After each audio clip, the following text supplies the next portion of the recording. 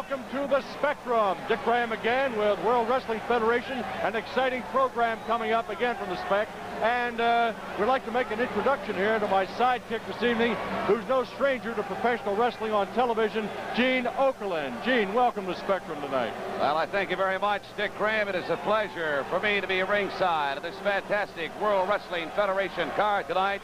It is going to be absolutely spectacular with top international stars from throughout the world as part of this World Wrestling Federation event here at the Spectrum. Well, we've got a, an evening of the Giants tonight, not solely, but partially. Big John Studd will be here, and Bobo Brazil and others, so we'll be getting underway in just a moment. Guess right now we ought to call your attention to the ring and get the announcement for our first matchup. Wrestling fans, this next contest is a one-fall event with a 20-minute time limit. Introducing first in the corner to my right, hailing from parts unknown, his weight 287 pounds, Moondog Rex.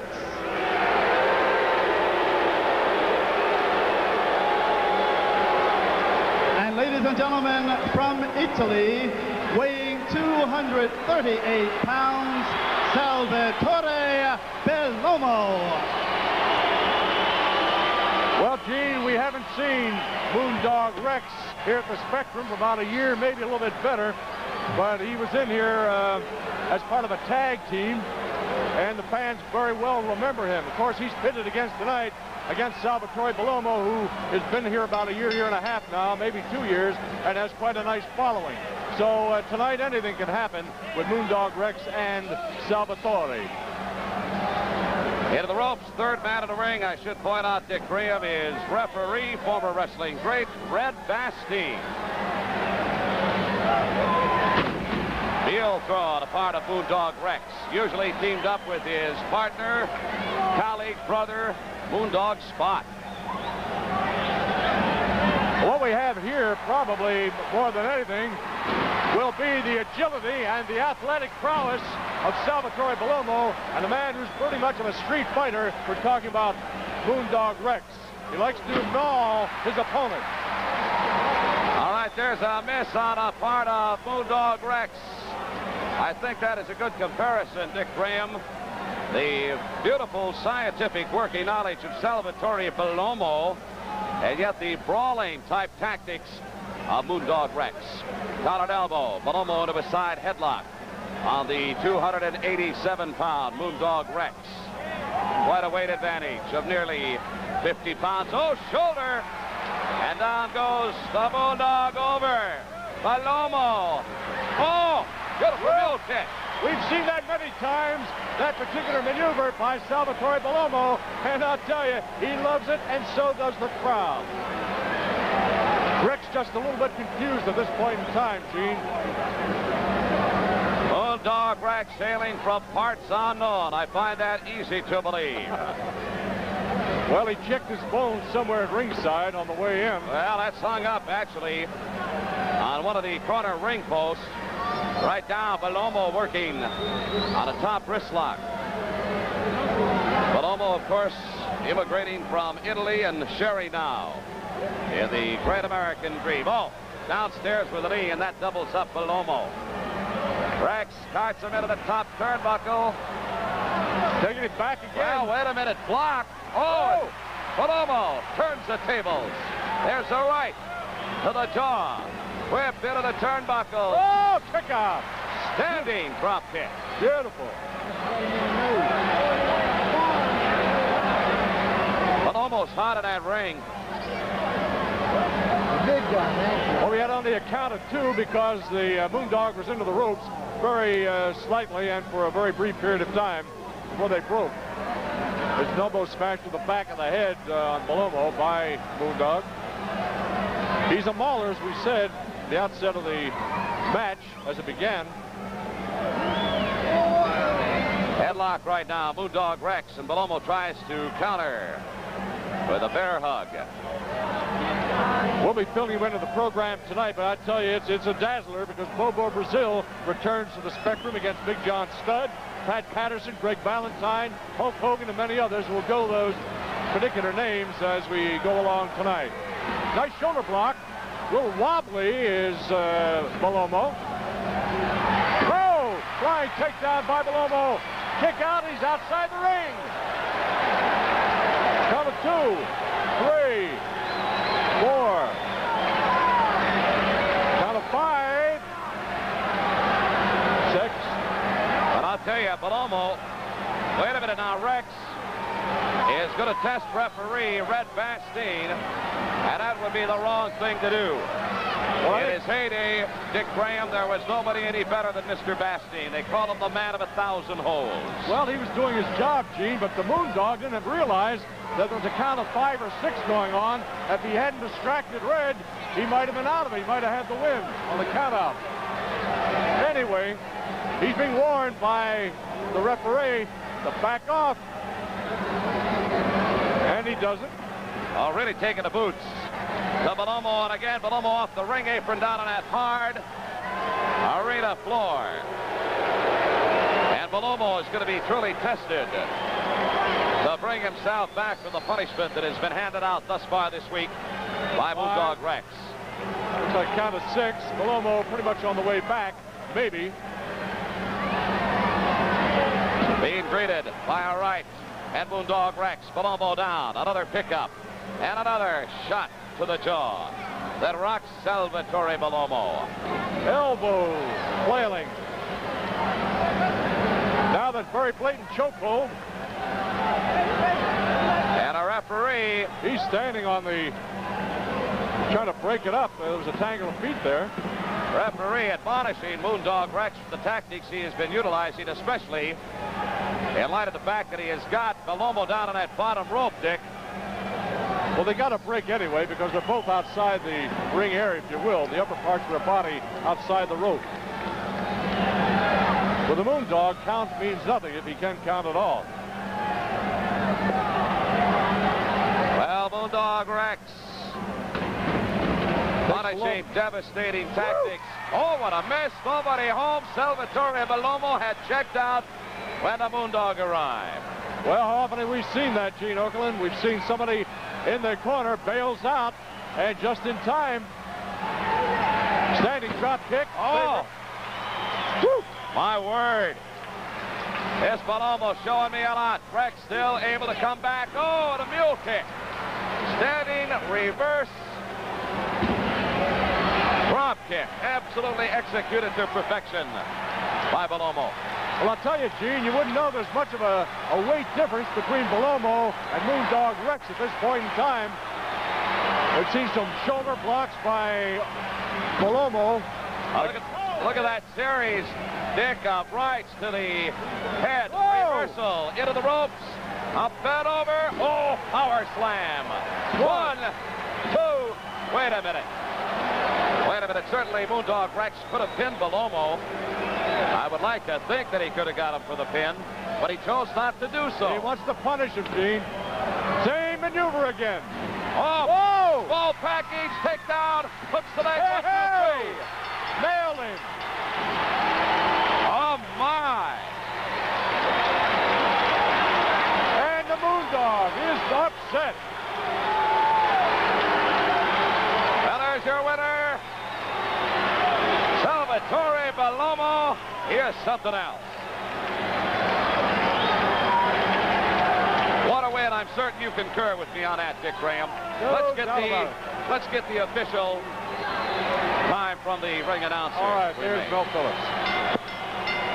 Ladies and gentlemen, the winner of this contest, Salvatore Bellomo.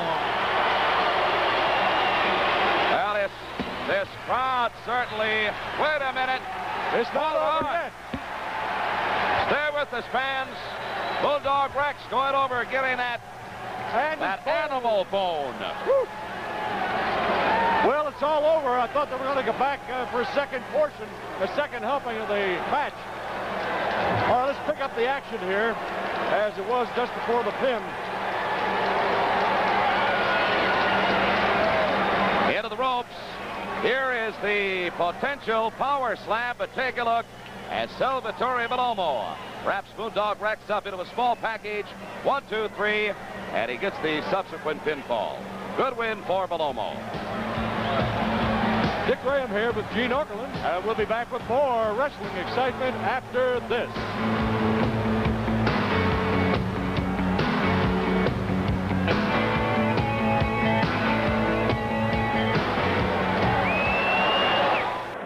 Thank you, Dick Graham. I'm back here with Bobo Brazil, the veteran.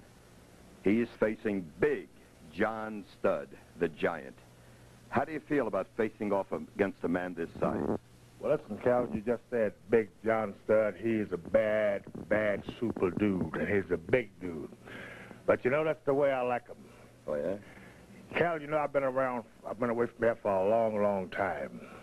And now I'm here to please my fans again. I don't want no small guys. I want all these big giants they have around here that's supposed to be super bad. Uh-huh.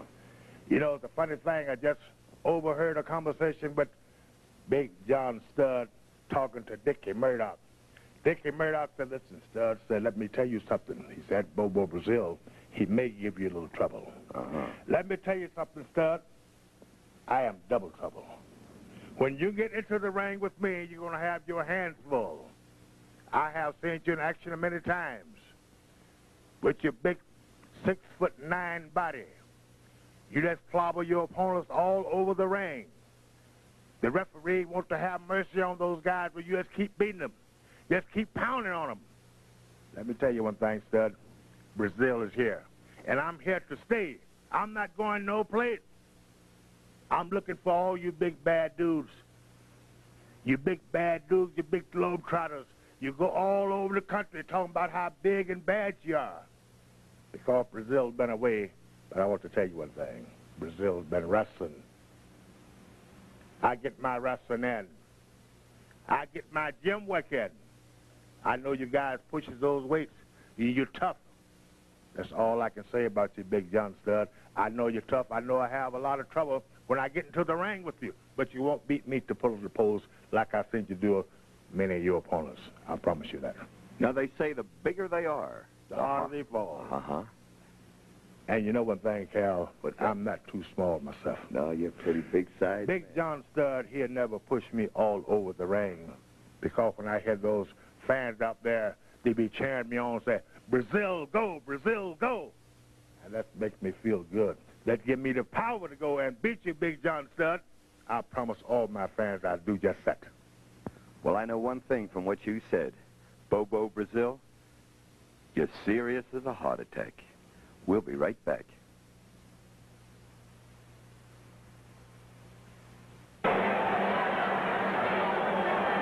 That's Dick Graham ringside at the Spectrum and Gene Okerlund with us. And now to Mel Phillips and the announcement. Wrestling fans, following is a one-ball event with a 20-minute time limit. Introducing first from Los Angeles, California, his weight 364 pounds, Seven foot plus, nearly 400 pounds, the new John Studd, ladies and gentlemen, the giant stud. Big John Studd.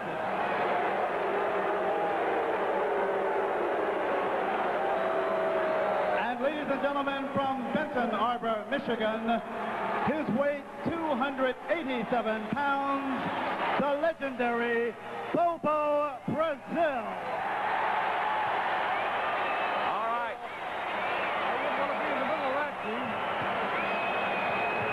Bobo Brazil this week setting his sights on the likes of Big John Studd. One fall matchup.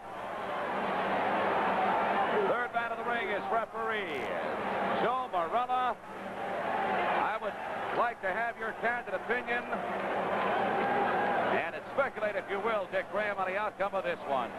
I don't know that I would bet on it if I had the money to bet, Gene, because you just have two giants, two giants in the ring. It's a battle of strength. Each man has been in the, the wrestling profession for a number of years, so they know all the angles, they know all the holds. Oh, beautiful block and a part of Brazil. Certainly threatening Studd at the outside of this bout. Studd hanging on to those ropes for dear life. A couple of big forearms to the upper back and a shot downstairs. And now Studd starts to assert himself. Bobo Brazil, perhaps one of the greatest black wrestlers of all time. No doubt about that, Gene. And he's here wrestling against Big John Studd, and he's handing Studd's head to him, so to speak. Take him into the corner. Down elbow smash Studd. My. And Studd counters with an elbow that rocks Bobo Brazil. Into the ropes. Off he comes. Oh, shoulder block. Partial shoulder, I believe, a little elbow got in there, too. Studd seems to get bigger and better every time I see him, Dick Graham. Well, he hasn't been here about a year, but uh, I tell you, Brazil and uh, John Studd are very well matched. Doing the bear hug thing on uh, Brazil right now. Look at the agony in the face. Well, you can just see it on the massage of Bobo Brazil. He is experiencing a great deal of pain. Referee checking to see if perhaps Brazil may be out of it. Brazil threatening. But all of a sudden, Studd tightens the screws just a little bit more. Well, he's wearing tree trunks for arms. No doubt about that. A great deal of strength with both these men. And just look at the faces as our camera picks them up. Agony, intensity, concentration. Right now, it's kind of a Mexican standoff, although I would say John Studd is in the driver's seat for the bear hug around the likes of Bobo Brazil. Brazil, a veteran of 287 pounds, native of Benton Harbor, Michigan. Big John Studd, considerably more size, but look at this. Now we have the reversal, and Brazil with the bear hug. Uh-oh. Tables turned momentarily as first Studd raking the eyes of Brazil, and Brazil comes right back with a little of the same medicine for Big John Studd. Well, the headbutt. Oh, oh Coco butt.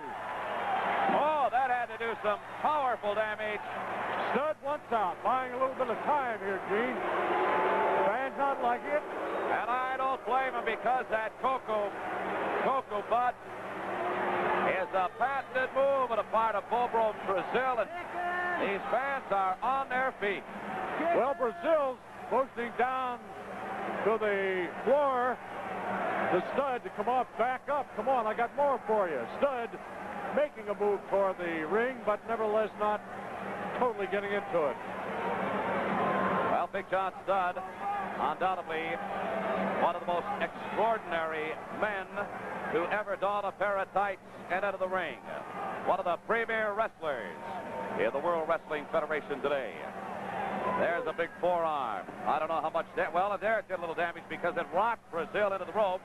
And now Studd is openly and blatantly, flagrantly choking Brazil. Well, Studd has a tendency to uh, reject any admonishing by the referee to cool it down. All he knows is ball, beat, pulverize. That's his style. One, two. Two count only. Joe Morella right on the scene there, too, very quickly on the scene. I don't know where Bobo Brazil gets it, but tremendously resilient after the pounding he had taken at the hands of Big John Studd. Studd with a face lock now on Brazil. Well, Morella's only concerned right now there might be any kind of a choking off of the air supply, but satisfied there isn't. Still, John Studd maintains that that tremendous pressure on the, the chin, the neck area on Bobo Brazil.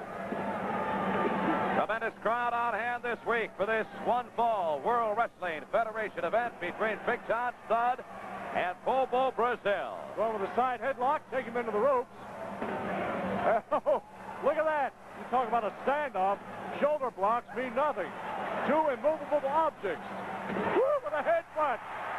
Brazil with a tremendous headbutt Oh. John Studd. Indeed, up downstairs with a knee, very low on Brazil. All right, Brazil opening up here.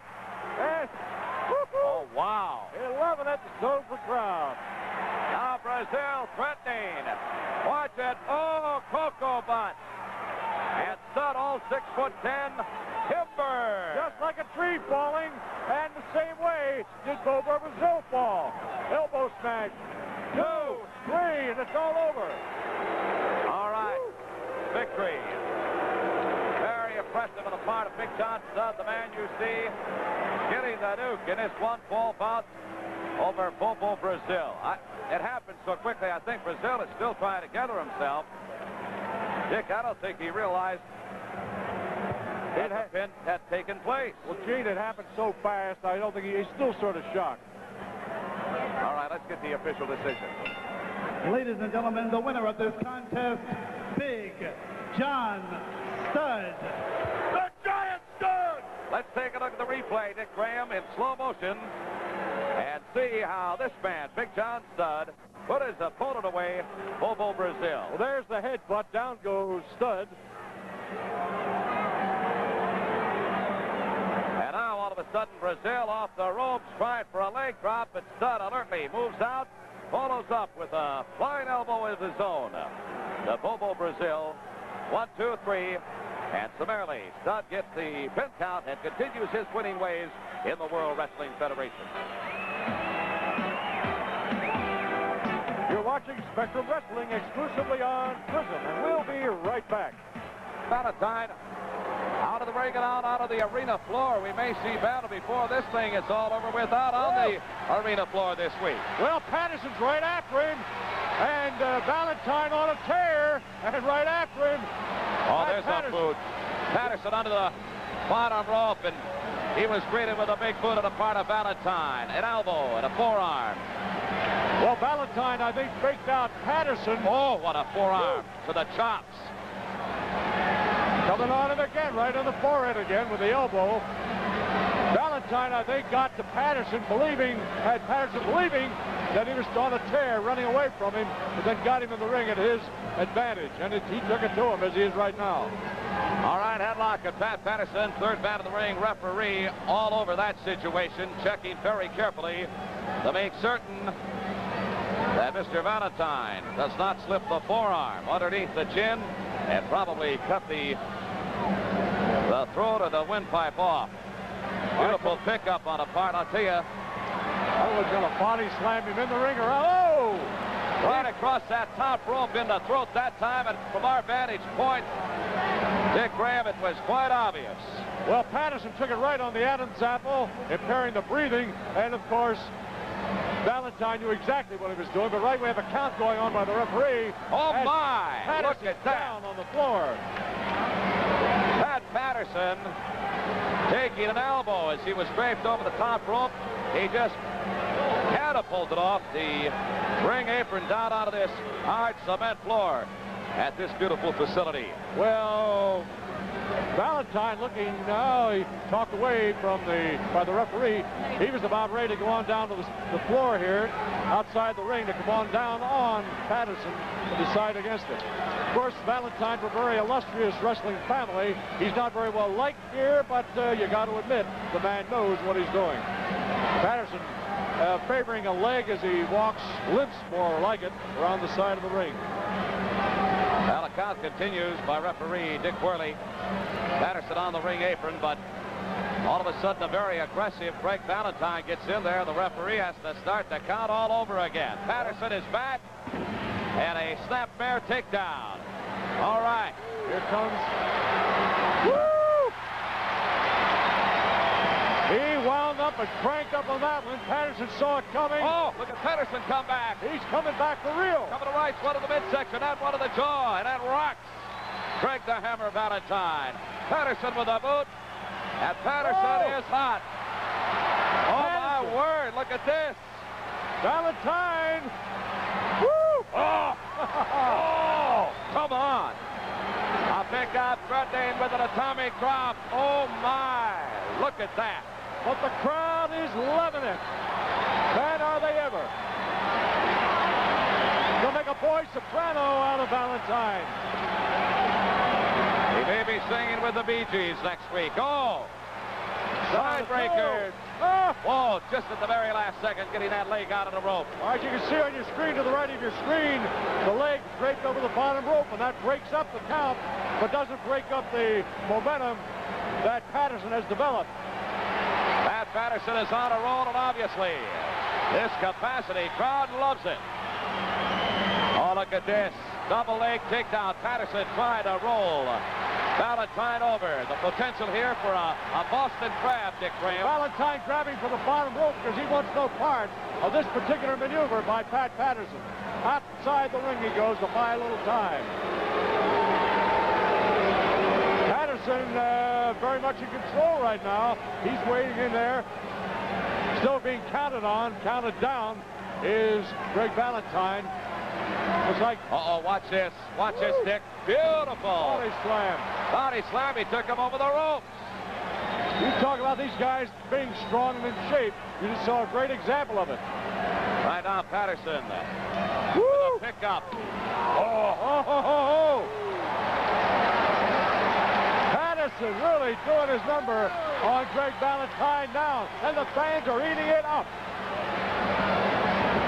Patterson really asserting himself, but again, I believe, putting himself in position. Oh! Woo! What a move and a part of the great Pat Patterson. Well, Valentine barely hanging on to the ropes and then suddenly collapsed. And like a cat, Patterson right back on him again. Body slam city. Patterson for. Oh, No! A roll out at just the very last second. Patterson couldn't have been more than three or four feet away from the upper torso of Greg the Hammer Valentine. But Patterson comes up empty-handed. Well, that, you Watch know, out, hold on. Dick, here it comes.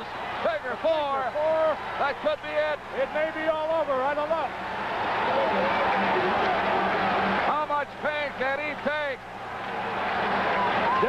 Dick knows this hold could put Patterson away. Oh! Patterson cannot get to Valentine. Oh, finally, he got to the hair. The pain is going to be excruciating. That's That's, it. That's it's it. all over. But still, Valentine maintains the pressure. Come on, Valentine, give us a break. I think that's what he's liking to do to uh, Patterson, give him a break.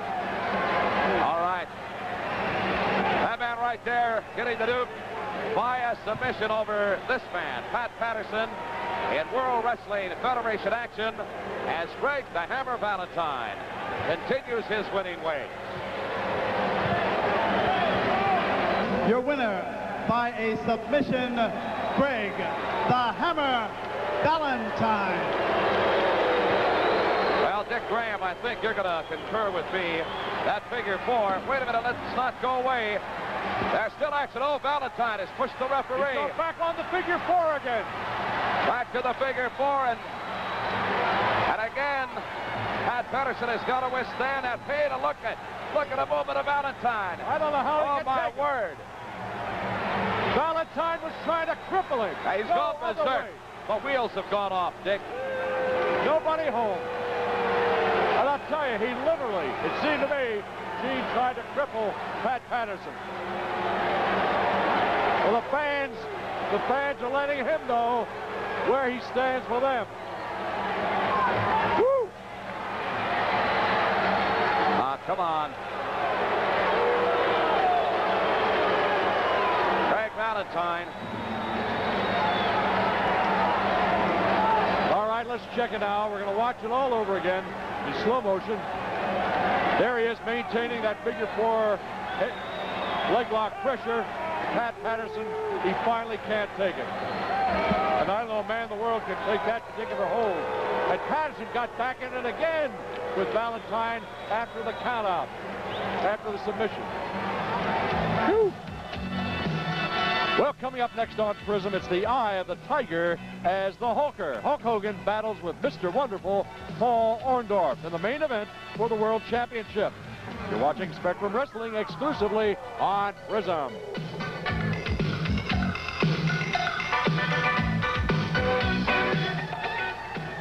Dick Graham back here at ringside, and Cal Rudman is in the interview area. So take it away, Cal. Thank you, Dick Graham.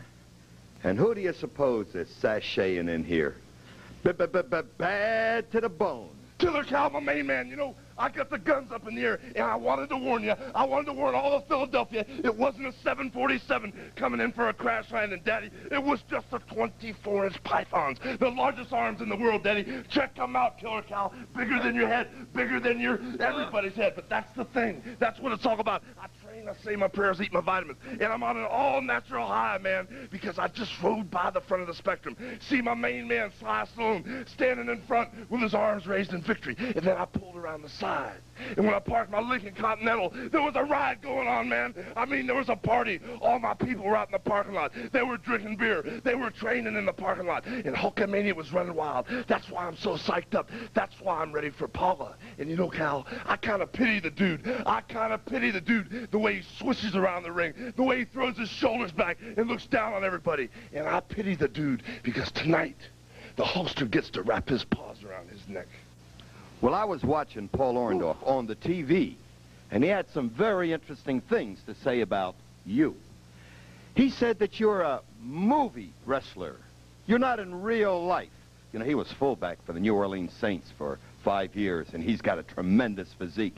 He said that all you can do is pick up the aforementioned Sly Stallone. But when it comes to him, that's something else. You want to comment on that? Well, you know, Killer Cal, talk is cheap, man. We can talk all night long. Matter of fact, me and Paula, we've been talking about each other for quite some time. But the thing is, you're halfway right, Paula, but only halfway. I did have a permanent address on Hollywood and Vine. Took my main man Sly, pressed him over my head, and sent him in orbit. Turned everybody on. Box office attraction.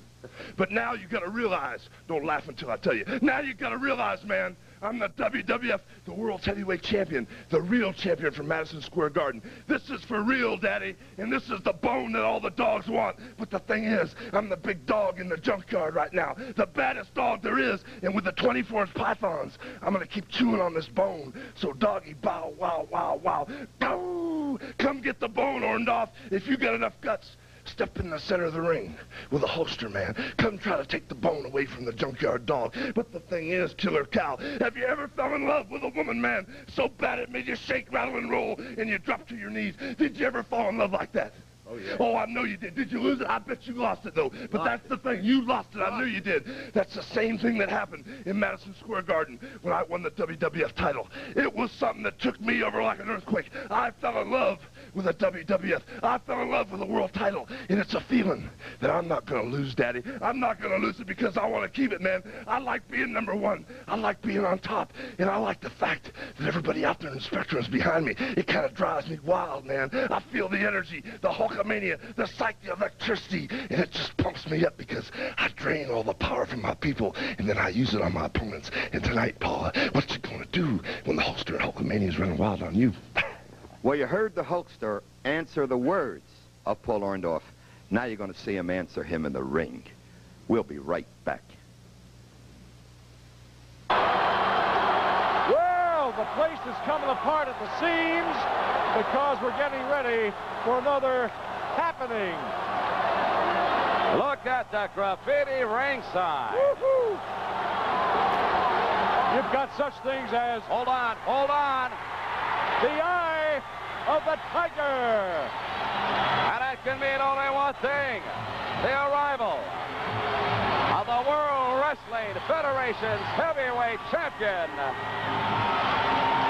as Survivor hangs it out. Here he comes. Oh, this place is going to explode. It's building.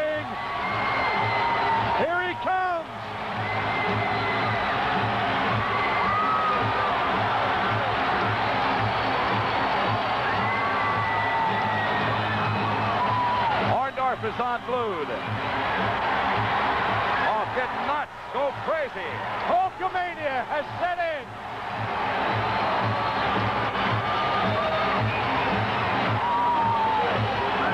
Orndorff.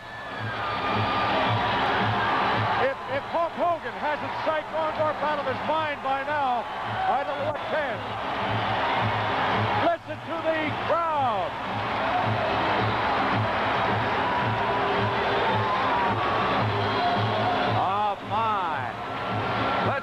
get the preliminaries, at least the introductions out of the way here, Dick.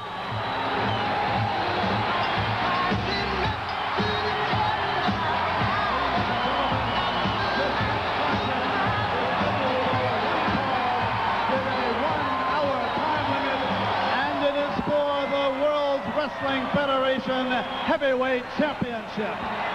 Introducing first the challenger from Tampa, Florida, weighing two. 257 pounds, Mr. Wonderful, Paul Orndorff.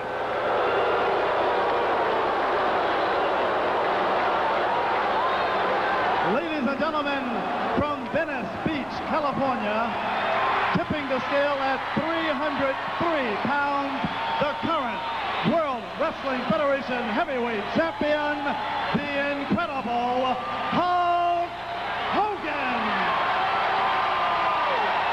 Well, Dick, a world title on the line this week. It is one ball, one hour bout for the heavyweight championship. And Orndorff has got to come to Hogan. Indeed he does, Gene. And I'll tell you, as they say in sports, if the crowd ever has any bearing on the outcome, this should be a foregone conclusion. And it's underway. Oh! Katie bar the door. Atomic drop. Oh, and a right that rocks Orndorff. Hogan hasn't even allowed Orndorff to get out of his robe. Oh, look at this. Changing blows, breaks the eyes. Headbutt, Orndorff down. And Hogan. Woohoo! Woohoo! Now Hogan. He is out. Oh, no. Look at this. Oh. But Hogan back in the ring. Woo-hoo. Orndorff. So, Oh, no. Oh, no. The bell has been thrown in. Oh. Orndorff, are you kidding me? no way. Ah, The Hulk is a hand hand throwing himself, but now the bell threatening Orndorff. Look out. Orndorff hasn't even been in the ball game yet. It's been Hulk Hogan all the way thus far. Hogan should not, though, relax, Gene. well, this facility has absolutely erupted, and I'm afraid it's going to explode pretty quick. You see the graffiti in the hands of Hulk Hogan, Paula, Paula, Paula, and needless to say, that gets to this man. I gotta give Orndorff some credit, though, with obviously everybody in this arena against him. He's hanging in. And even the way this got underway with Hogan very much the aggressor, as a champion should. I don't know, the man, I gotta give him some measure of credit. Well, the rope's on. They're ready to go. Let's see what happens. Mr. Wonderful against the Incredible Hulk.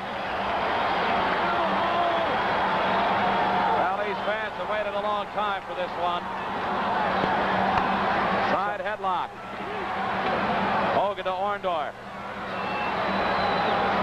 Of course, you've got to realize Dick Graham, Paul Orndorff wouldn't be here if somebody didn't think he was a pretty fair country wrestler. Well, that's for sure, Gene. He is that. But he's messing with a heck of a man with the hooker. Oh, Hulk Hogan arm wide open now says, come on. Oh! Kiss my... Oh, oh. That, gest, that I got gesture said it all. I got it. and so did everybody else. Whew. I don't know how much more you can do to taunt a man than the taunting Hogan's already doing and has done so far to Mr. Wonderful, Paul Orndorff. Uh, he'll get those sympathies from referee, I'm sure. Now listen to this. Well, I'll tell you,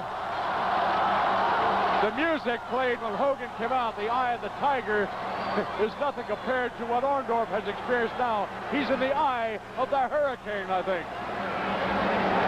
What a shot of the heavyweight champion of the world, a 302-pounder, six foot eight, a native of Venice Beach, California.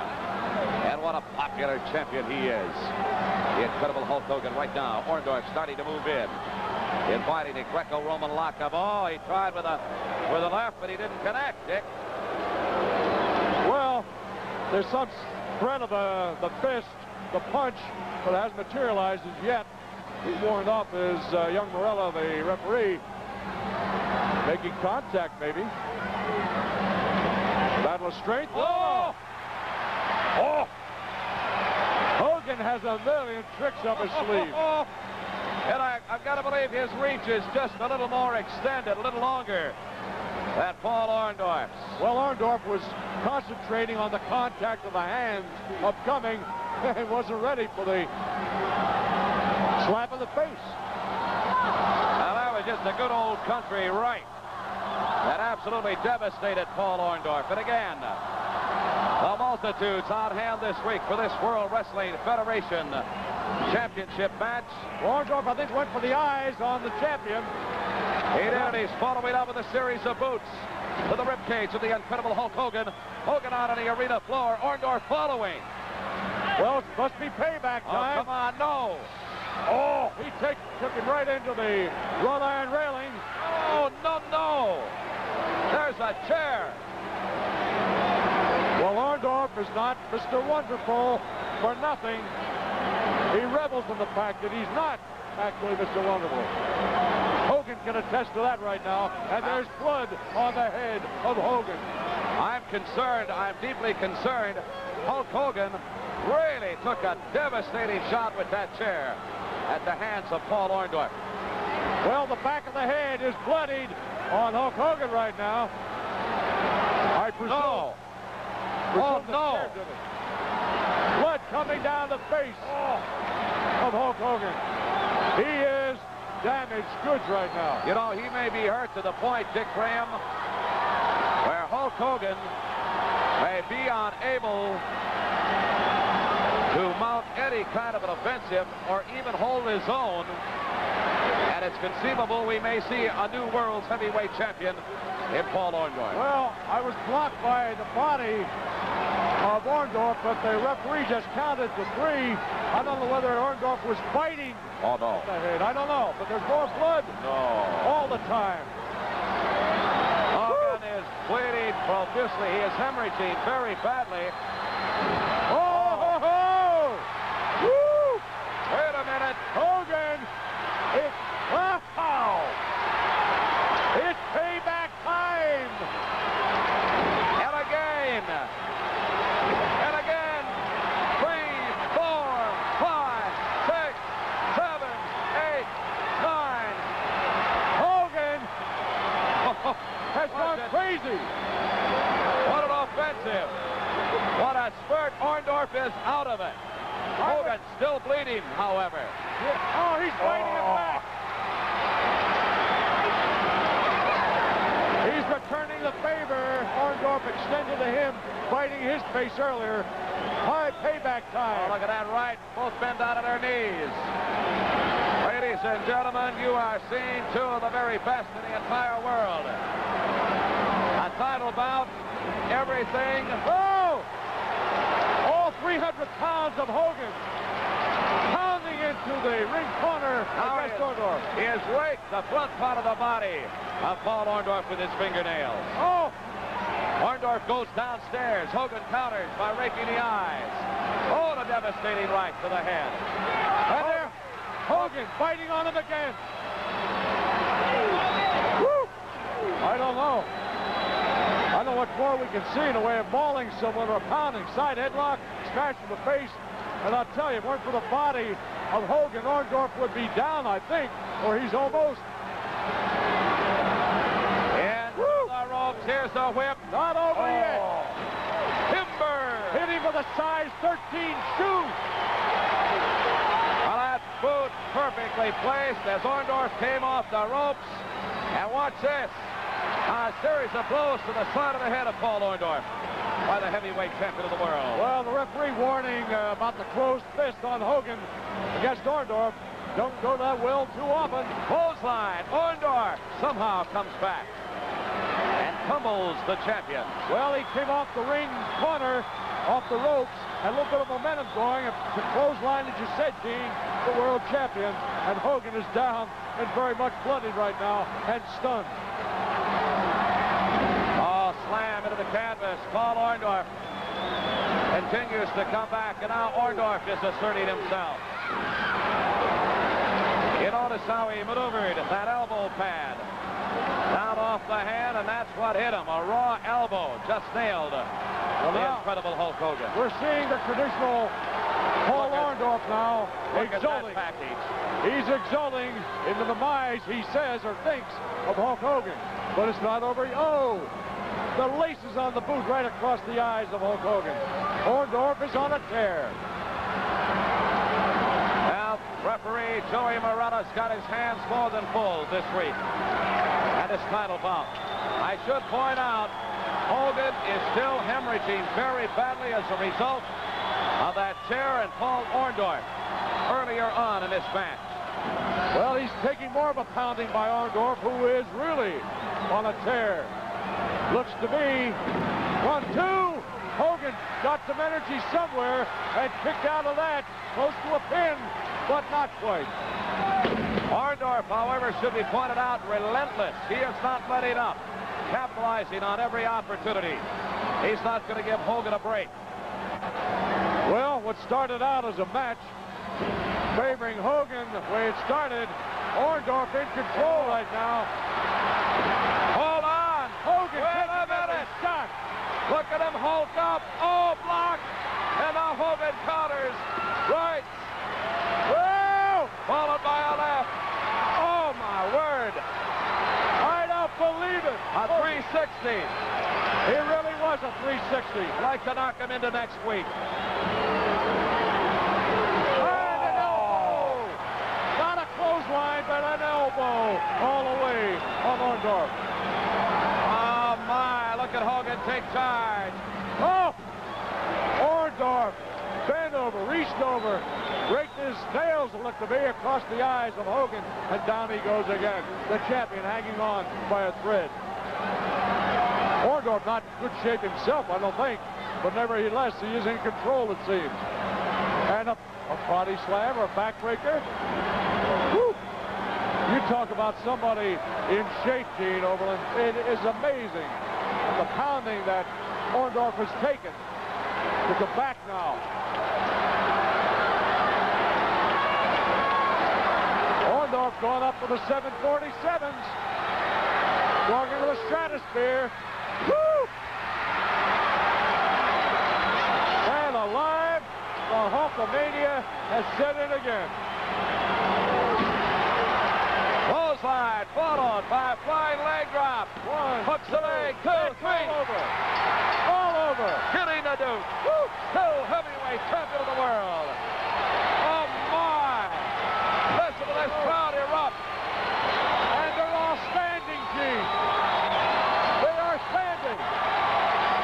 Oh! Well, the, the battle's on again. Oh! Marella taking a shot from Orndorff. Hogan in the corner with it.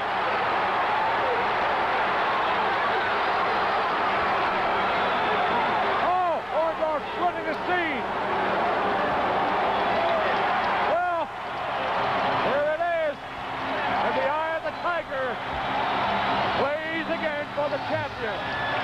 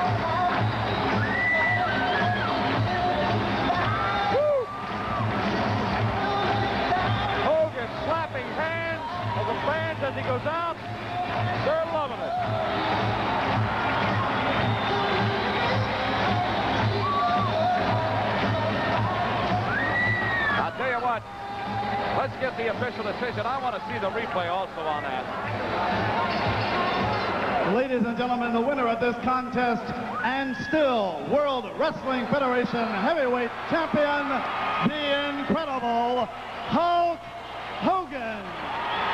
Winner and still a heavyweight champion of the world. Let's go back All right, and here we see in slow motion. Just Hulk moments Hogan ago. clotheslines Orndorff, follows it up with a flying leg drop right across the upper torso. Goes for the pin. A Oh, the hooks the up. leg. Summarily gets the one, two, three pin count. Some kind of action. Cal Rudman will be along shortly with some special musical guests. So stay tuned. We'll check in with Cal after this.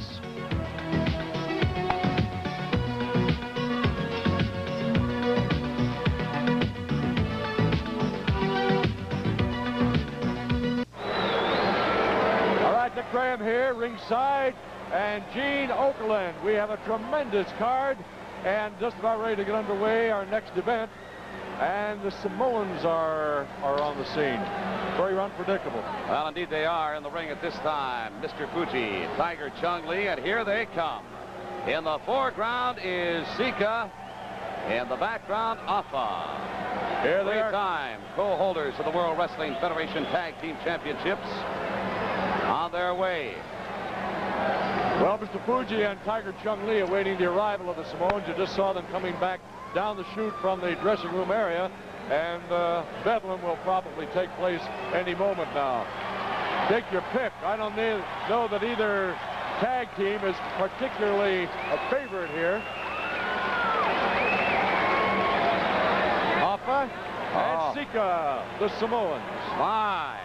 They get their messages from somewhere in outer space, I believe. Afa Sika. While Samoans one and two. Right now, making their way up onto the ring apron, through the ropes. And there. Dick Graham is a lot of beef. That Where's the beef? There's the beef. And Mel Phillips is right in between it all with Dick Woehrle. So let's find out who is who. All right, let's get the introduction. Ladies and gentlemen, this next contest is indeed a battle of the Roughnecks. It is a special tag team attraction scheduled for one fall with a 45-minute time limit. Introducing first in the corner to my right, the tag team combination that consists of first from Osaka, Japan, weighing 247 pounds, the Samurai Warrior, Mr. Fuji. And his tag team partner from Seoul, Korea, weighing 271 pounds, Tiger Chung Lee.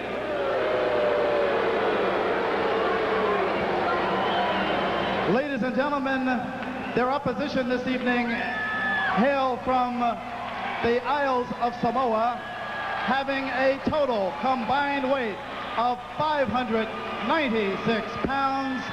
Afa, Sika, the Wild Samoans. Well, there you have it, fans, the introduction, and uh, whatever, I hesitate to say what could happen, because nobody knows with the Samoans, when they're involved, what probably will take place, but you know it's going to be Bedlam for sure.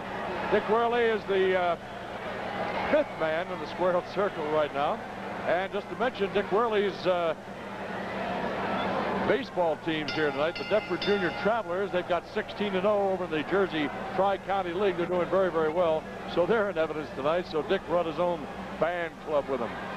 Okay, I don't know who's going to kick this off, uh, whether it be Tiger Chung Lee or Mr. Fuji. All right, you see the team right there of Tiger Chung Lee in the foreground and Mr. Fuji in the background. The Oriental Express. the traditional Japanese ceremony of throwing the salt up over the top turnbuckle to supposedly drive the evil spirits away. Some ceremonial goings on between uh, Fuji and Tiger Chung Lee. And this week in the World Wrestling Federation, the Oriental, well, there's a little ceremony too from a wild Samoan. I don't know that we've actually seen that kind of an approach before, that ceremony, as you put it, but uh, that maybe not to be outdone by the uh, Mr. Fuji and by Tiger Chung Lee. All right, we are set for action. The bell is sounded. It's going to be Fuji. And the Big Afa kicking off this tag team bout. I expect, I expect a real wild brawl. A couple of uh, words going between the, the two brothers, the Samoans. Everything's okay now, I presume. Going for the eyes, Mr. Fuji seems to be. Breaking the tape wrist, but not for long. Nice chop across the Adam's apple down, Mr. Fuji. And a headbutt to boot.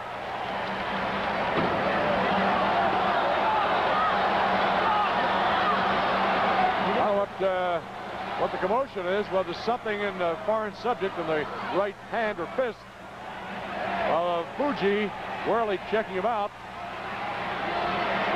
And he's a master. As oh, well, far as, as, as hiding things, he did so beautifully there. Well, the fans are pointing, and apparently Woehrle seems satisfied. There's Well- going on. From our vantage point, I saw it too. I'm not so certain he might not have had that salt or perhaps some other foreign object. There's an exchange, and quite obvious. For Well- those of you watching at home, there you can see it, plain as day. Our a foreign object that we alluded to earlier, Dick. Okay, our light, alert uh, cameraman at ringside picking up the foreign object. And still Woehrle checking out Mr. Fuji. He'll find nothing as we know, but Woehrle has not seen what we have seen. There we are back into the again. Well, there's the exchange. Talk about Sly. And now the referee is checking over Tiger Chung Lee. And again the exchange. Fuji taunted the Samoans with that foreign object and then handed it up again. I think he has it back in his tights. I'm not sure. Anyway, Woehrle has his hands full and then some at this point in time. Fans are getting a little nervous. Not much uh, activity right here.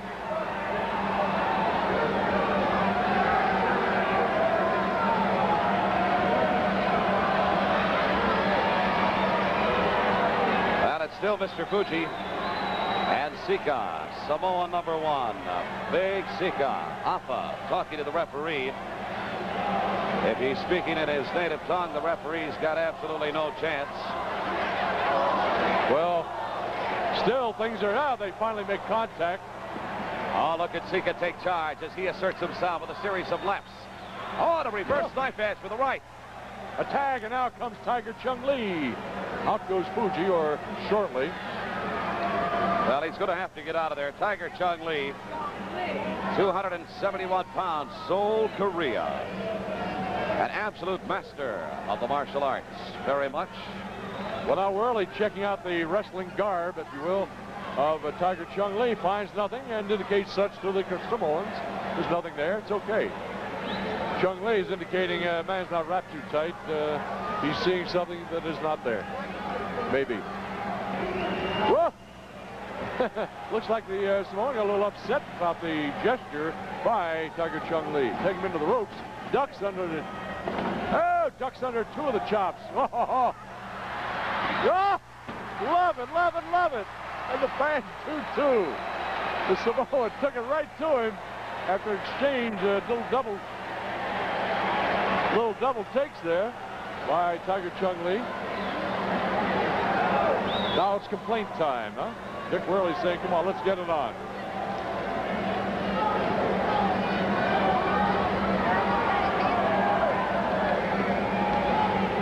Lee getting a bit of advice from Mr. Fuji over the other side of the ring. And the same uh, holding true here on this side with the Samoans. I think the fans are saying, what's the talk? Let's get it together here. Let's get it on. And they finally do. Going for the wrist. Uh, apply a little pressure there. Nothing out of the ordinary. Pain going right up to the shoulder on Tiger Chung Lee. Oh, headbutt. Famous maneuver by the Samoans. They love the headbutt.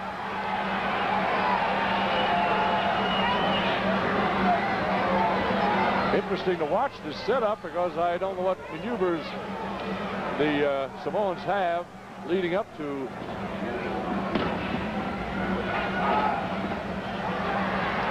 Oh. Trying to try to reverse this on the Samoan. He said, something's wrong here. He's at the short end of this right now. So we're doing psych jobs, Gene. All right. Big Afa playing games thus far with Tiger Chung Lee. He has had the man totally confused. Now these two men eye each other and proceed. Sika out of the ring apron, waiting anxiously for an opportunity to get into the thick of the battle. A leg uh, takedown and a part of Samoa number one. Oh, my word. What all that weight Oh, down on the knee. What an impressive body splash. Here's a little teamwork, and again, this time, Sika gets to the inner left leg of Tiger Chung Lee, the veteran from Korea. Mr. Fuji threatens. And there you see the pain that Tiger Chung Lee obviously is going through at the hands of Sika, one of the two wild Samoans. Again, I want to point out three-time former tag team champions here in the World Wrestling Federation this week. Wild Samoans doing battle with the Oriental Express of Tiger Chung Lee and Mr. Fuji. We're still applying that pressure, and uh, we're- Dick Woehrle, uh, the referee, just momentarily distracted by Mr. Fuji, while the pain still being applied to Tiger Chung Lee by Afa, or Sika now. Well, now all of a sudden, I believe I've got to suspect perhaps a rake of the eyes on the part of Tiger Chung Lee goes to the hair.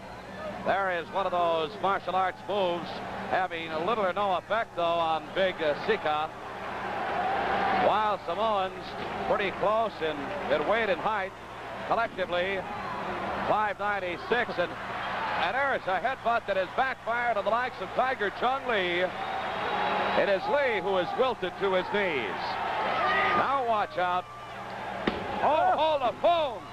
Oh, what a headbutt on the part of Sika. It absolutely rocks Tiger Chung Lee. Well, the tag not made. Fuji expecting Uh, a tag. I don't know. Apparently, The tag made. uh, Fuji a little reluctant there at first, but has second thoughts, takes the tag from Tiger Chung Lee, and now Mr. Fuji to try his best on Wild Samoa number two, Sika. Well, they're stalking each other right now, making contact. Fuji moves down on the arm to the wrist with a turnover. Sika, as you can see, trying to keep that left arm as loose as possible. Not to lose circulation. Oh, headbutt to the shoulder. And you should have seen the expression on Fuji down on the canvas. Oh, my. Trying for a pin. One, two. And I'll take a look at this. Yet another expression on the visage of Mr. Fuji. Gene Okerlund along with Dick Graham this week. Tag team action between the Wild Samoans and a combo, the tandem of Tiger Chung Lee and a man who's on the receiving end of a little punishment from the Wild Samoans, Mr. Fuji. Well, Sika applying the pressure and maintaining it, and Fuji on the short end and in trouble right now. And uh, looking for help from somewhere, but he's not about to get it. He's too far away from the other corner where his tag team partner, Tiger Chung Lee, is. So he's uh, one-on-one with Sika at the present time. Now Tiger Chung Lee giving it a thought, but he is quickly discouraged by referee Dick Woehrle reprimanding Lee saying, don't, don't even try it. Well, it looks to me Sika's trying to move along with Fuji to make the tag, and there it is. So we have the Samoans exchanging positions right now. Oh, what a left to the top of the dome of Mr. Fuji at a part of Afa. Samoa number one. And Afa says, hey, I might as well pick up the same hold that brother Sika had a moment ago because it's working. And he has him pretty much in the middle of the ring away from Tiger Chung Lee. So no tag didn't happen right now. All right, a packed house, I'll tell you. Capacity crowd on hand, and I believe the crowd favorites kind of swinging for the Wild Samoans, Afa and Sika. Well, Fuji going for the upper body now, and uh, down goes Afa. But obviously, oh, mercy, watch mercy. it the woo, cry of banzai downstairs with a headbutt. Hit him right in the manhood, and uh, oh, Sika coming in, not liking the turn of events, and now here's Tiger Chung Lee. Wait a minute, come on, ref, give me a break, turn around and get it a game. Well, the tag made, kind of. Woehrle didn't see it one way or the other. He was admonishing the Samoan. At the time, Sika was outside the ring. The But- communication between Afa and Sika is just fantastic. However, there they had no chance with the double teaming of the part of Mr. Fuji and Tiger Chung Lee. Afa taking a little punishment there. Mr. Fuji working on the trapezius muscles, perhaps slipping that up along the neck and working on, on a nerve on the side of the neck. He may be even going for the carotid artery. He might have that or just put the arm asleep. I don't know whether he has that in Well, mind. and on a, Afa has faded completely because he just went right down. He's moving ever just so slightly. Count of two, and his shoulder went up. So from somewhere in, in uh, inside himself, he just knew instinctively to raise one shoulder. A little double teaming on the part of Afa Sika. There was a change, but the referee's back was turned between Mr. Fuji and Tiger Chung Lee. And if you're confused, ladies and gentlemen, so are we. This For week, tag team action.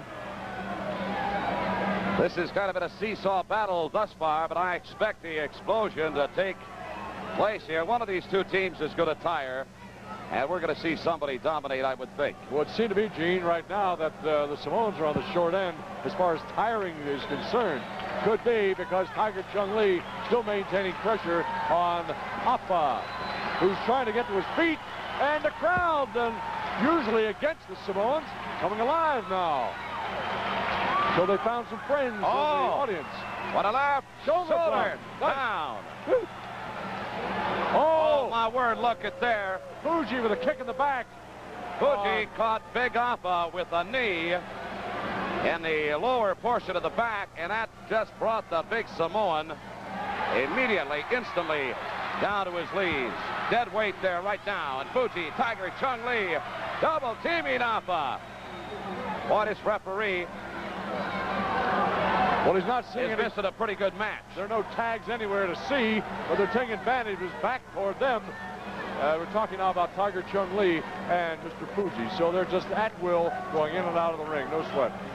In the foreground, Big Sika watches as Mr. Fuji chops brother Afa. Tag Fuji the Tiger Chung Lee. Communications there off the ropes. Oh, and a total miss. he rolled out and A total miss. Wait a minute. Oh, hold on a second. There was a... Fuji could not stand the fact that Tiger Chung Lee missed the mark, and he slapped Tiger Chung Lee across the face. some bad blood here now, Gene. There's a shot to the ribs at bare foot of Tiger Chung Lee. Afa off the ring apron to come around the ring and check on the well-being of. I believe that is Afa. I'm starting That's to get down and down on right. Sika made the move. Was trying to help him and uh, got to be careful. Watch for Fuji. Oh, Fuji. Fuji kicks Afa. And Sika gets up on a ring apron. I couldn't believe earlier the exchange between Mr. Fuji and Tiger Chung Lee. All right. Woehrle caught the end of that, and he saw Fuji coming after Papa. Oh, look at there. This is more of a Pier 6 brawl at this point in time, Gene. Wait a minute. Somebody is getting upset. That may have been the straw that broke the proverbial camel's back because we have got one hot Samoan on our hands this week in the form of Afa. Well, these kicks by Tiger Chung Lee are having no effect, apparently, on Afa. And now he's on a tear. They're bringing him over towards Sika, and Oh! moving headbutt. And I'll tell you, the There tag is is made. Tag from Afa to Sika. And now this crowd starts to come to life.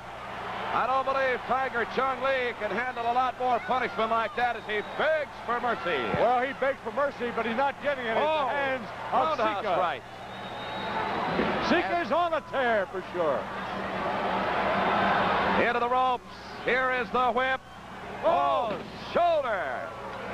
And that particular move takes Lee to the canvas, followed by a headbutt from high in the air. Another Two, leg. Kick out. He didn't hook the leg, and it was unlikely that he could pin him at that point in time, nor did he. Well, now with the man the bulk of Tiger Chung Lee at 271 pounds, Lee most capable of being able to kick out if indeed he has the strength that apparently at that point in time he did. At this juncture, I couldn't be too sure. Woehrle uh, took the arm, the left arm of Tiger Chung Lee several times, lifted it to see if there was any movement there at all, any any uh, any purposeful movement, and he just has now. But uh, Lee's hanging on. Still the, the pressure applied by Sika up outside the ring. Dick Woehrle watching the move, make sure no chokehold going on currently. Capacity crowd this week watching on, along with yours truly, Gene Okerlund. Lee grabbing for the face briefly and then uh, let his hand fall. And Dick Graham, I don't think anybody has really taken control thus far. Out of either one of these teams, nobody has dominated for any extended period of time at least. Gene, this could go any way, and I think the fans know it, and that's why there's a Look at that of shot. Oh, my. Talking about buying a used car from somebody. Ooh, no way. What a mean city. But I'll tell you, this could go either way, and the fans seem to know it. They're sort of uh, watching expectantly. They don't know who's going to go. There was And nor a do we. foot out of the rope just momentarily by Tiger Chung Lee. And off it off it just kicks it right back in. Sure. But in the meantime, Sika and that that face lock has taken its toll on a star from Korea. Well, a double teaming whip into the ropes. Oh, double clothesline. Oh, followed by a headbutt. Woehrle. We've got action. Woo. Mr. Fuji. Reminiscent of December 7th, 1941. Coming in from the blind side, both off at a referee's back turn. Tiger Chung Lee with a series of those martial arts combo moves. Well, the tag made. Now Sika back in. Afa going to get a breather. Chung Lee taking the, the short end right now, getting a beating at the Stick hand. it to the Sika. hair. All right. Tiger Chung Lee going down. All Tag. Seemed a reluctant tag by Mr. Fuji. I don't know. Maybe it's just my, my impression. They make contact now. Now there's a couple of those double heart punches to the upper torso. All right, Big tag, Sika. tag made again. In up, out Sika. Oh, headbutt. Right to the breastbone. Followed by a reverse knife edge by Wild Samoa number one. Mr. Fuji down at a knee. And now all of a sudden, I believe, Afa detected that foreign object again, and I think he was making a move for it. Body slam by Mr. Fuji as he just kind of stands over the, the large body of, of Afa. Samoa number one, snapmare takedown. And what has Mr. Fuji got in mind at this juncture? Well, he's going up with the He wants the ropes. Could be the cry of banzai. Nobody home. Everybody evacuated, and uh, Fuji knows too well it was a bad move. The attention was good. The move started out okay, but Afa ducked it, and uh, suddenly Fuji in trouble. Uh, Fuji, I think, a little bit uh, worse for wear on the bottom side. Oh, the reverse atomic drop. Here's uh, Fuji. Got to pinch a little. Fuji, tag, Tiger Chung Lee. Fuji in bad shape right now. Tiger Chung Lee, toe to the sternum. Pick up, body slam. Tiger Chung Lee now outside of the ropes. Up on that second turnbuckle. Mounts the top one. And he's going to try and make a move. No, oh, He took it to him. Oh, the headbutt between the shoulder blades. Tag made. Sika in. Off off. The Samoans are on a roll. Two count. Close, but no cigar, no hooking of the leg. Headbutt. Down goes Tiger Chung. Tag. He was reaching What? for a tag. Hold on. Wait a minute. Fuji minute. hung him out to dry. Dick Graham, let's hold the phone just a second. I believe, I do believe that Mr. Fuji turned his back on the tag. He did, in fact. Now, now he's asking for the tag. Tiger Chung Lee. No! Oh, he walked away from it. You've got to be kidding me. I never saw it. Oh, Never in my life. He hung him out to dry. But in the meantime, Sika totally dominating Tiger Chung Lee. And he just catapults him to the canvas. And now Mr. Fuji, ladies and gentlemen, has walked away from the ring. He's going for an early shower, apparently. He has walked away from the heat of the battle. Double headbutt. Oh! And again, while Samoans off One, a two, Two, it's three. over. And I'll tell you, What a change of events during the course of this match. But Dick Graham, the real surprise to me, undoubtedly, has got to be the fact that on at least two occasions, Mr. Fuji walked away from a tag from his partner. Earlier on, Fuji became terribly frustrated with what was taking place to Tiger Chung Lee, and he actually slapped him across the face. well, for no So- apparent reason, Gene, I can't Well, figure out why he hung him out to you know, dry. this is this is teamwork, and obviously that was not the case. Let's get the official decision from our ring Ladies and gentlemen, the winners of this contest, the team of Afa and Sika, the Wild Samoans. All right, hold on. Here comes Mr. Fuji back to the ring. I'll tell you what, it's too late now. The best he's going to be able to do is muster an apology. Oh, he's oh come on. Oh, hold Oh. on. Wait a minute. He's Mr. Fuji. Fuji has taken the microphone cord and has wrapped it around the neck of Tiger Chung Lee. Well, there has been a blowout between these two allies. What no team? longer so. One Karate question. chop. Why? I can't understand it. Outside of the ring right now, Tiger Chung Lee, as you can see, all wrapped up in a cord, in a chair, in a ring bell. And Mr. Fuji, I cannot believe, I, I cannot believe Mr. Fuji. Oh, oh, don't tell me. Tiger Chung Lee is back on his feet, but out of nowhere, out of left field, appears the kendo stick. That very controversial piece of equipment that goes to the ring with this man every time he is introduced. And Mr. Fuji had better be concerned. Here comes Tiger Chung Lee, kendo stick in hand. And watch out, ladies and gentlemen, this could be it. A blowout has taken place between these two allies. Oh! Tiger Chung Lee missing. And he is hot. This friendship of quite some time has been thrown out this this week here in the World Wrestling Federation between this man, Tiger Chung Lee, and his tag team, former tag team partner, Mr. Fuji. But the funny thing about this, Gene, is suddenly the crowd, the crowd has turned totally for the Samoans and Tiger Chung Lee and totally against Mr. Fuji. Incredible. Unheard of.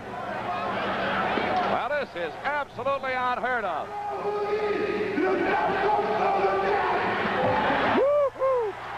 That sounds like a challenge to me. That was indeed a challenge from Tiger Chung Lee, directed straight at Mr. Fuji. Well, What a matchup here in the World Wrestling Federation. Ladies and gentlemen, I can't believe it. you talk about bad blood. We have it. And the ringside, Howard Eskin. Howard Eskin in evidence, checking things out. Fans were only moments away from the long-awaited confrontation between the Superfly and Rowdy Roddy Piper. Coming up next, only on Prism.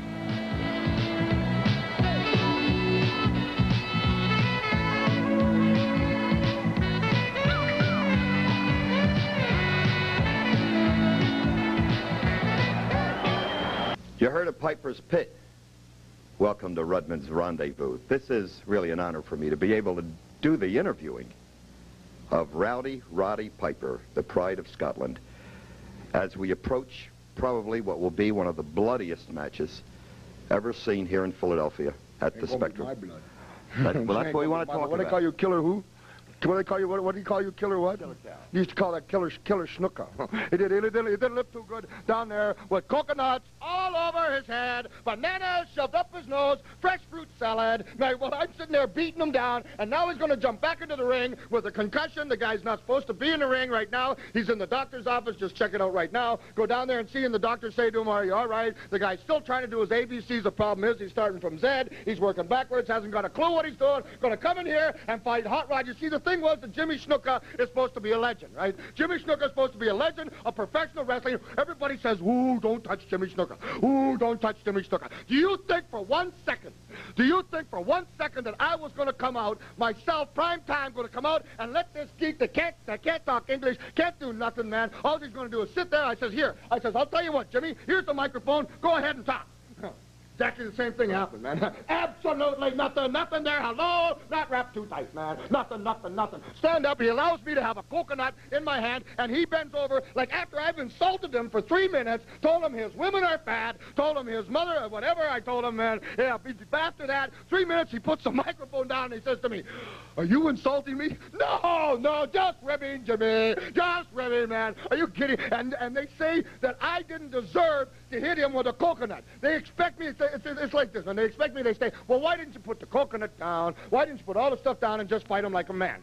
you see, you see. Obviously, that's why you're sitting there and I'm standing here because I go into the philosophy that you don't hit a man when he's down. You kick him. It's much easier. We're not playing no games here. I feed my family from fighting. I will fight anybody, any place, anytime, bar. I don't give a damn, man. You just put some bucks down. I'll fight. I'll fight you, man, cameraman. I'll fight you. I don't care. I'll fight anybody, any place. So you want to fool around with Big Rod, man? This is the home of the Loch Ness monster, brother. Thank you very much, Rowdy Roddy Piper. But now we're going to see what really happens. We'll be right back.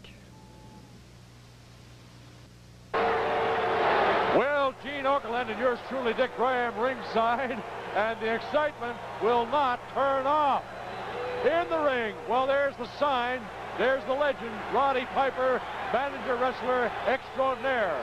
Might be disputed by thousands of other fans here at this time. Woo! I'll tell you, you talk about madness. Hulkamania a little while ago, and now here comes the Superfly. Let's listen.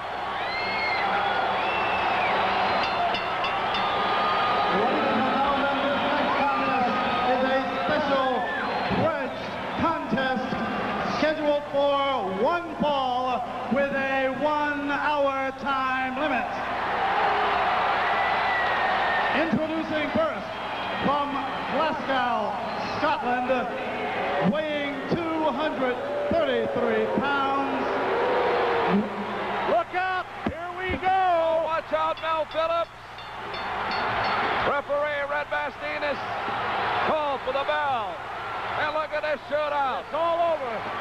They're underway. High flying headbutt by Snuka.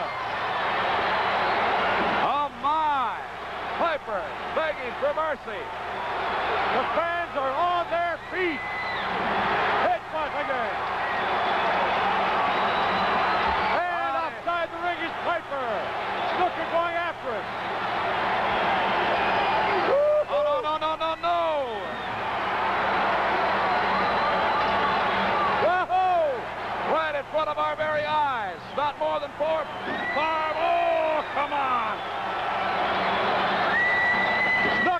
five. Come on. Snuka Snuka took Piper right into our table here at ringside. And now Piper in the ring trying for mercy against Jimmy Superfly Snuka. Now the Superfly is going to show no mercy to this man. Oh, he's hanging on to his hair. Woo! Oh, doing his thing as only he can.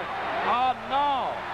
He's literally pulling Piper into the ring.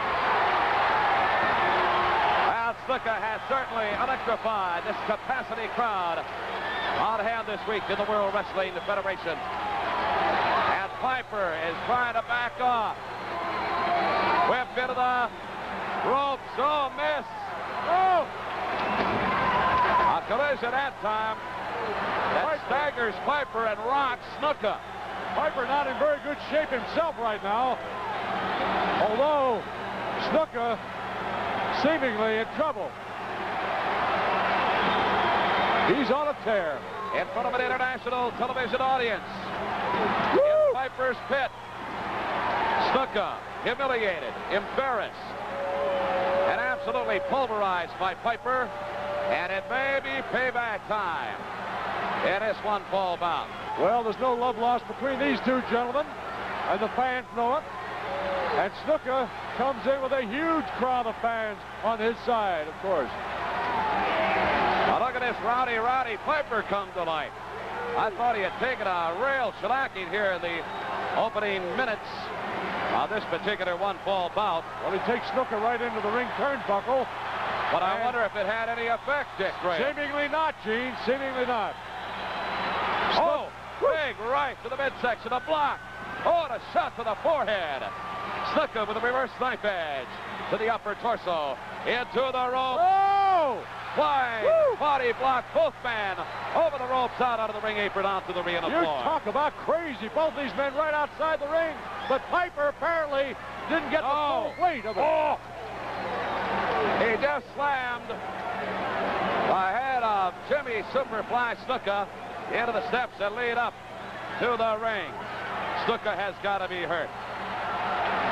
There are a couple of faces we recognize at ringside, checking on the condition of Jimmy Superfly Snuka. Piper biting him, is it? Seems to be. Mauling him around the face. Snuka, dazed, hang on by a thread. Fans cheering for him to get it on, get it together. Jimmy, please. And Piper trying to get him back inside the ring because he knows Snuka is on shaky ground. By the way, I should point out Dick Graham, third man in the ring. One of wrestling's all-time greats, Fred Bastien, as Rowdy Roddy Piper delivers and executes a knee lift to perfection on Jimmy Superfly Snuka. Look oh, what a kick out. But the, the sheer Oh. strength of Snuka picking up the body of Piper, shoving him toward the ring corner. Another block.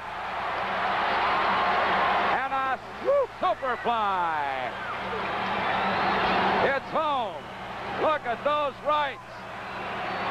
And another block. This time a block at a part of Piper. Pick up.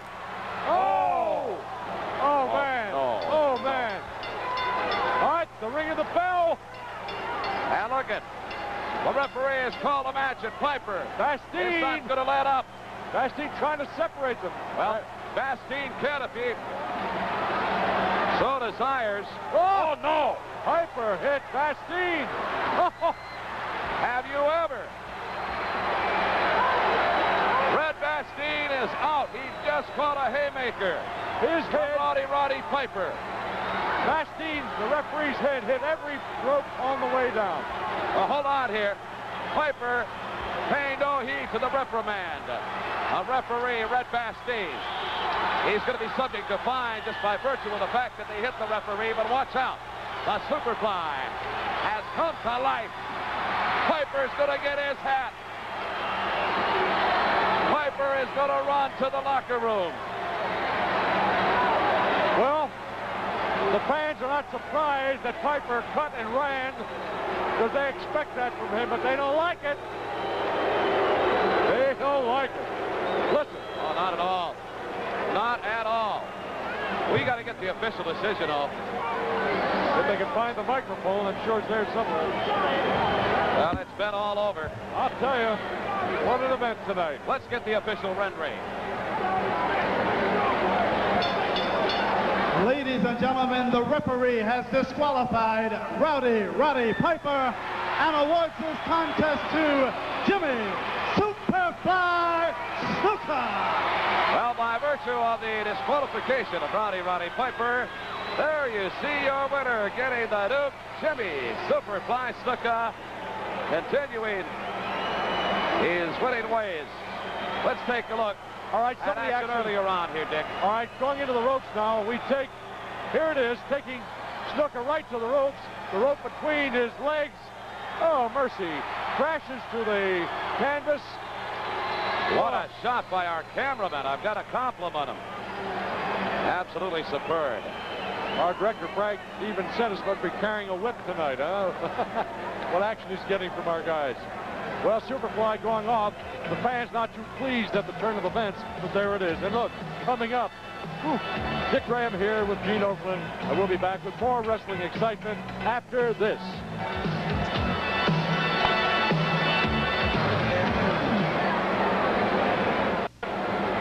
All right, this is Dick Graham at ringside. Gene Okerlund with us and uh, getting ready now for the next event. And uh, you know who? Things are kind of calm here right now with the fans, but any moment now it should erupt because we'll be witnessing the return of the animal. Need I say more? The young fellow by the name of Steve Lombardi who's getting his uh, lumps sort of the hard Uh-oh. way. We just we just saw him heading He's coming out of down the the- locker room, down the chute, into the arena. And what kind of a reception Well, they will never. George the Animal Steele receive here this week? Oh, a lost soul.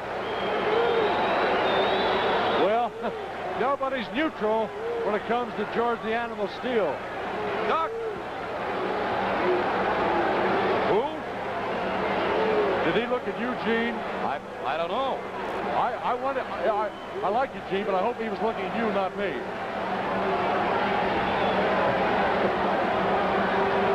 Let's get the official introductions. Wrestling fans, the following attraction is scheduled for one fall with a 30-minute time limit. Introducing first from Detroit, Michigan, his weight 288 pounds, the animal George Steele.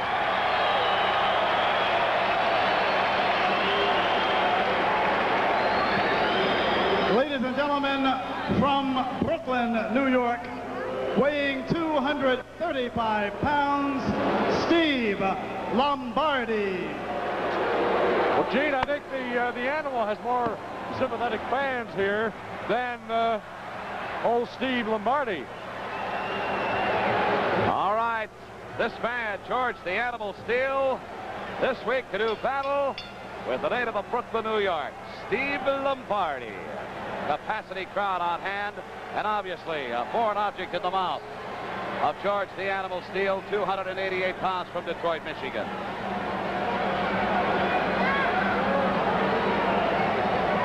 Boy, he's just a, a master at, at concealing that foreign object. Well, he just exposed the uh, green colored tongue to the fans a moment ago, and that's always a delight.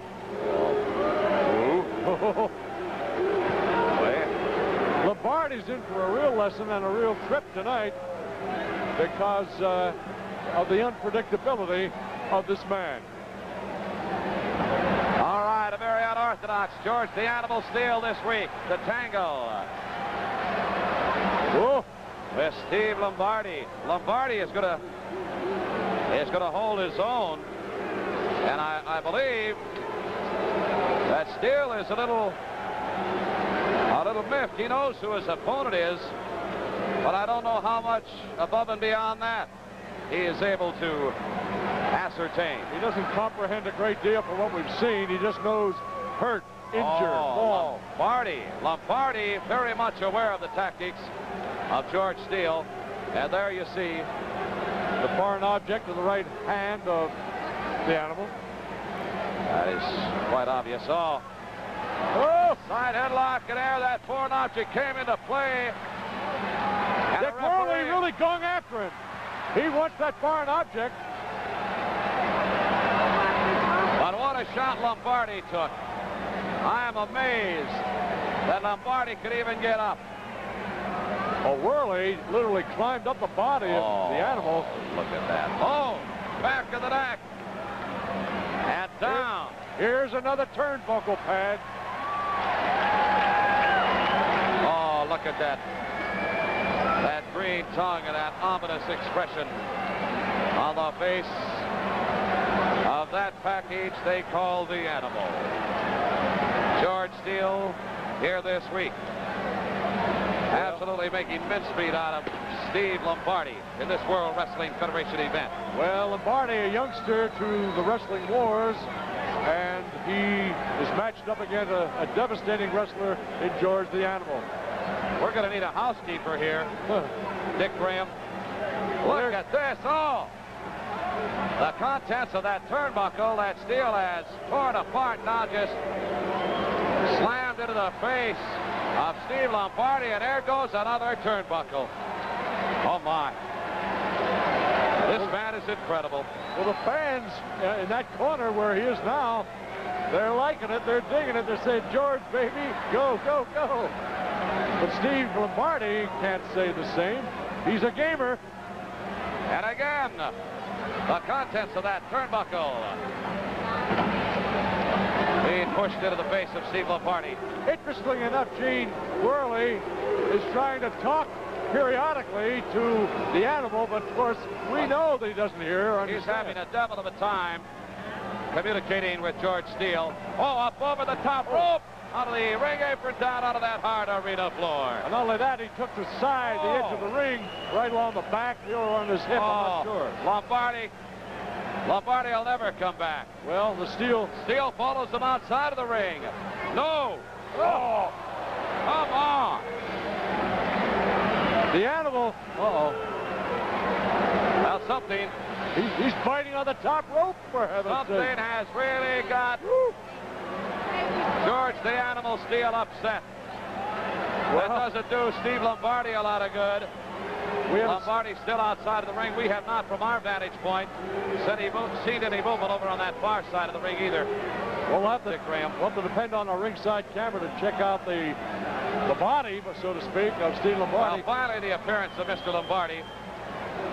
Referee continuing the count. How Lombardi came back with that is, is beyond me. Remember, no padding on that top turnbuckle. And that's got to tear away at the flesh of the upper torso. and the animal, Lombardi. the animal kicking at uh, Steve Lombardi, who's already down. No old part here. Animal knows nothing about rules. Take him into the Not turnbuckle. again, no! Oh, got the shoulder, Gene. Well, that's going to just tear Lombardi apart. That is going to tear them all apart. Look at that, ladies and gentlemen. One of the extraordinary wrestlers you'll see as part of the World Wrestling Federation. George the Animal Steele. I think what he's doing is uncovering totally the metal clamp. And he, he certainly can't be thinking of of lining up Lombardi. Yes, he No, is. taking Oh! Taking there again. Why do I anticipate? That was even a bad thought. Well- Premature though it was on my part. Lombardi, I'm certain, is going to be unable to continue. Well, Lombardi really is down, but I don't know if this is going to make any difference to the animal because he knows nothing about No, no. no compassion. Well, here's a man that we're not certain can even think straight. You talk about somebody putting a sentence together. This man can barely put one word at a time together. And those are few and far between. Well, the animal is doing as predicted. The fans just seemingly just cannot. Oh, oh, oh, oh, oh. Oh, no. There's that There it is. wide hammer. And that's all she wrote. Lombardi could not All she Possibly. That's it. contend with the tremendous pain that was dished out by this man George the Animal Steele getting the Duke by submission over Steve Lombardi. And there's, well, a somewhat surprised look at a part of a fan. Let's go back. And actually, this is this is more action. Come on, ref. Get on his case. Reverse the decision for once. You can see the foreign object there. I don't know. Oh, what- no. Oh, come on. This has got to come to a, an abrupt halt. Dick Woehrle smashed across the ring and out, down and out. Woehrle is, is out of it. I think uh, Woehrle is totally out of it. George the Animal Steele. Oh! No. No. He's strangling Bill. He's going for He's the ring crazy. This is totally out of line. My God. He's totally went crazy. That man is not playing with a full deck. Referee, if you don't reverse the decision, it fines aren't leveled here in the World Wrestling Federation, I would be surprised. Let's go back in time and see how George the Animal Steele put it away over Steve Lombardi. Let's roll it and take a look. All right. This is what we call the flying hammerlock, patented by George the Animal Steele, as seen here in the World Wrestling Federation. What do you think, Dick? I'll tell you, I don't know what to think because we've seen the animal at his worst time after time after time, and he seems to surpass even our wildest expectations. He is indeed George the Animal Steele. What an animal, and then some.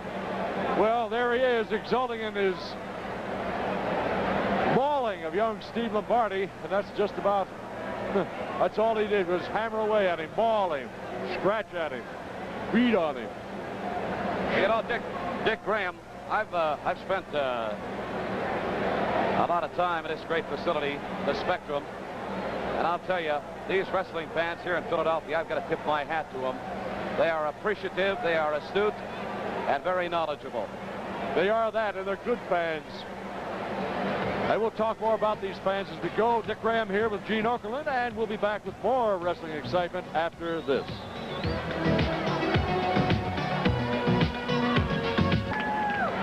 Ladies and gentlemen, here are some of the stars who will appear on this World Wrestling Federation card.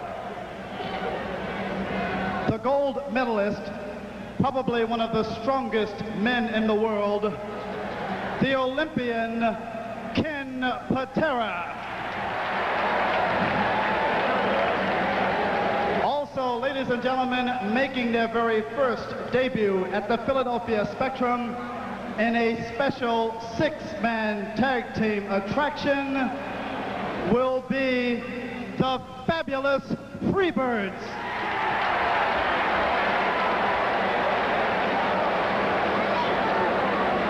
Fans, in addition to that, these bouts have been signed for Saturday, August 4th.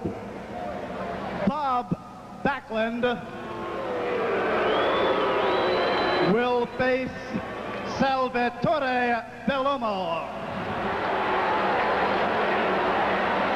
And in a special one-on-one confrontation, the first Cobra Corps inductee, Terry Daniels, will face another outstanding wrestler also making his debut here at the Spectrum, the Ugandan giant Kamala.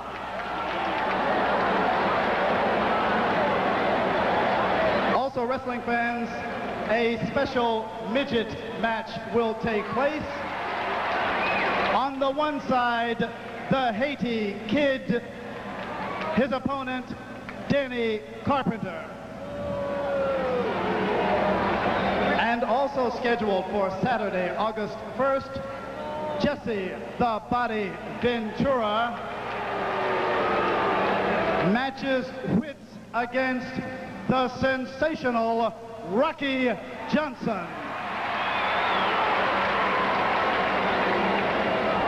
Ladies and gentlemen, in a special grudge contest, the samurai warrior, Mr. Fuji, signs to face Tiger Chung Lee.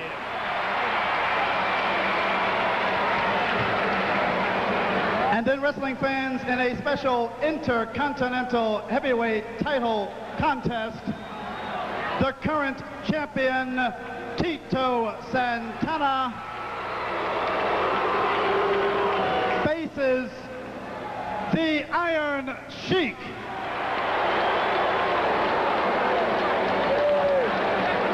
Ladies and gentlemen, to ensure that there will be order in this contest, a special guest referee has been signed. And that person is none other than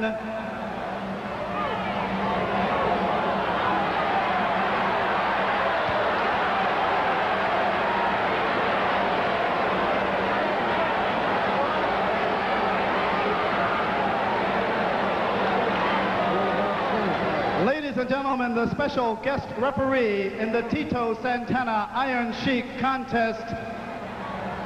It can't be.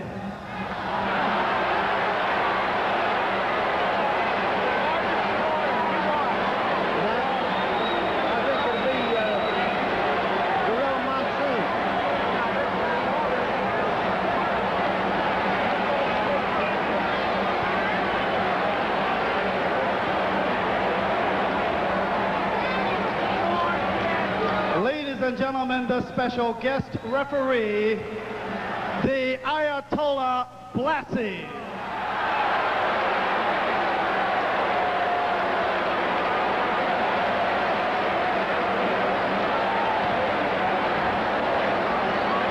Ladies and gentlemen, the feature match, Saturday, August 1st, will see the master of the figure four leg lock, Greg the Hammer Valentine, as he will face the World Wrestling Federation Heavyweight Champion, the incredible Hulk Hogan.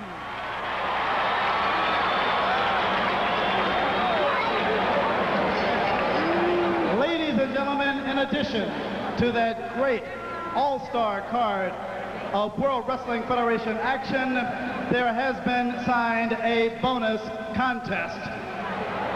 And in this match, here in this ring, Saturday, August the 4th, Big John Studd faces Andre the Giant.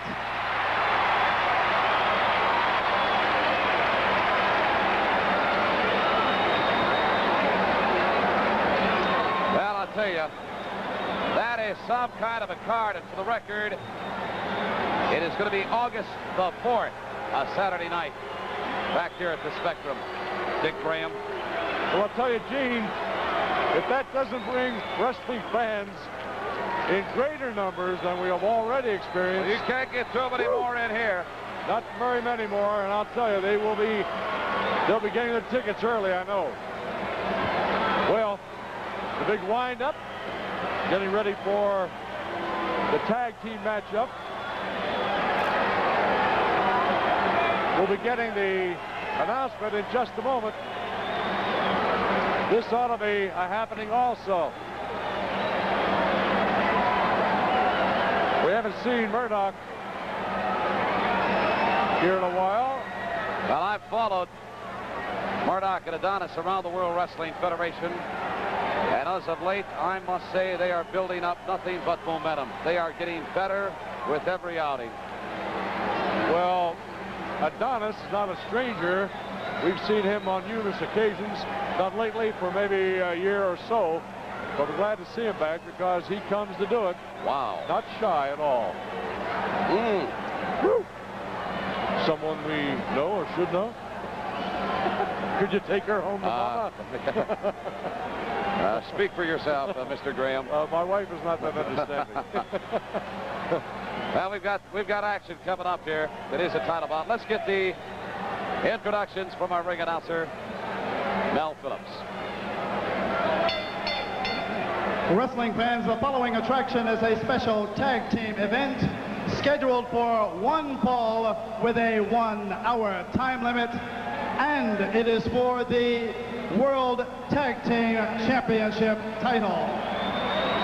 Introducing first the challengers from Tampa, Florida, weighing 232 pounds, B. Brian Blair.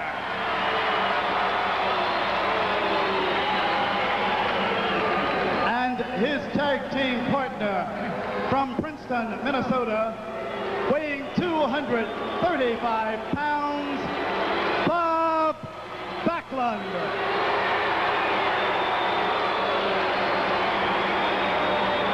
Ladies and gentlemen, they will face the current World Tag Team Champions.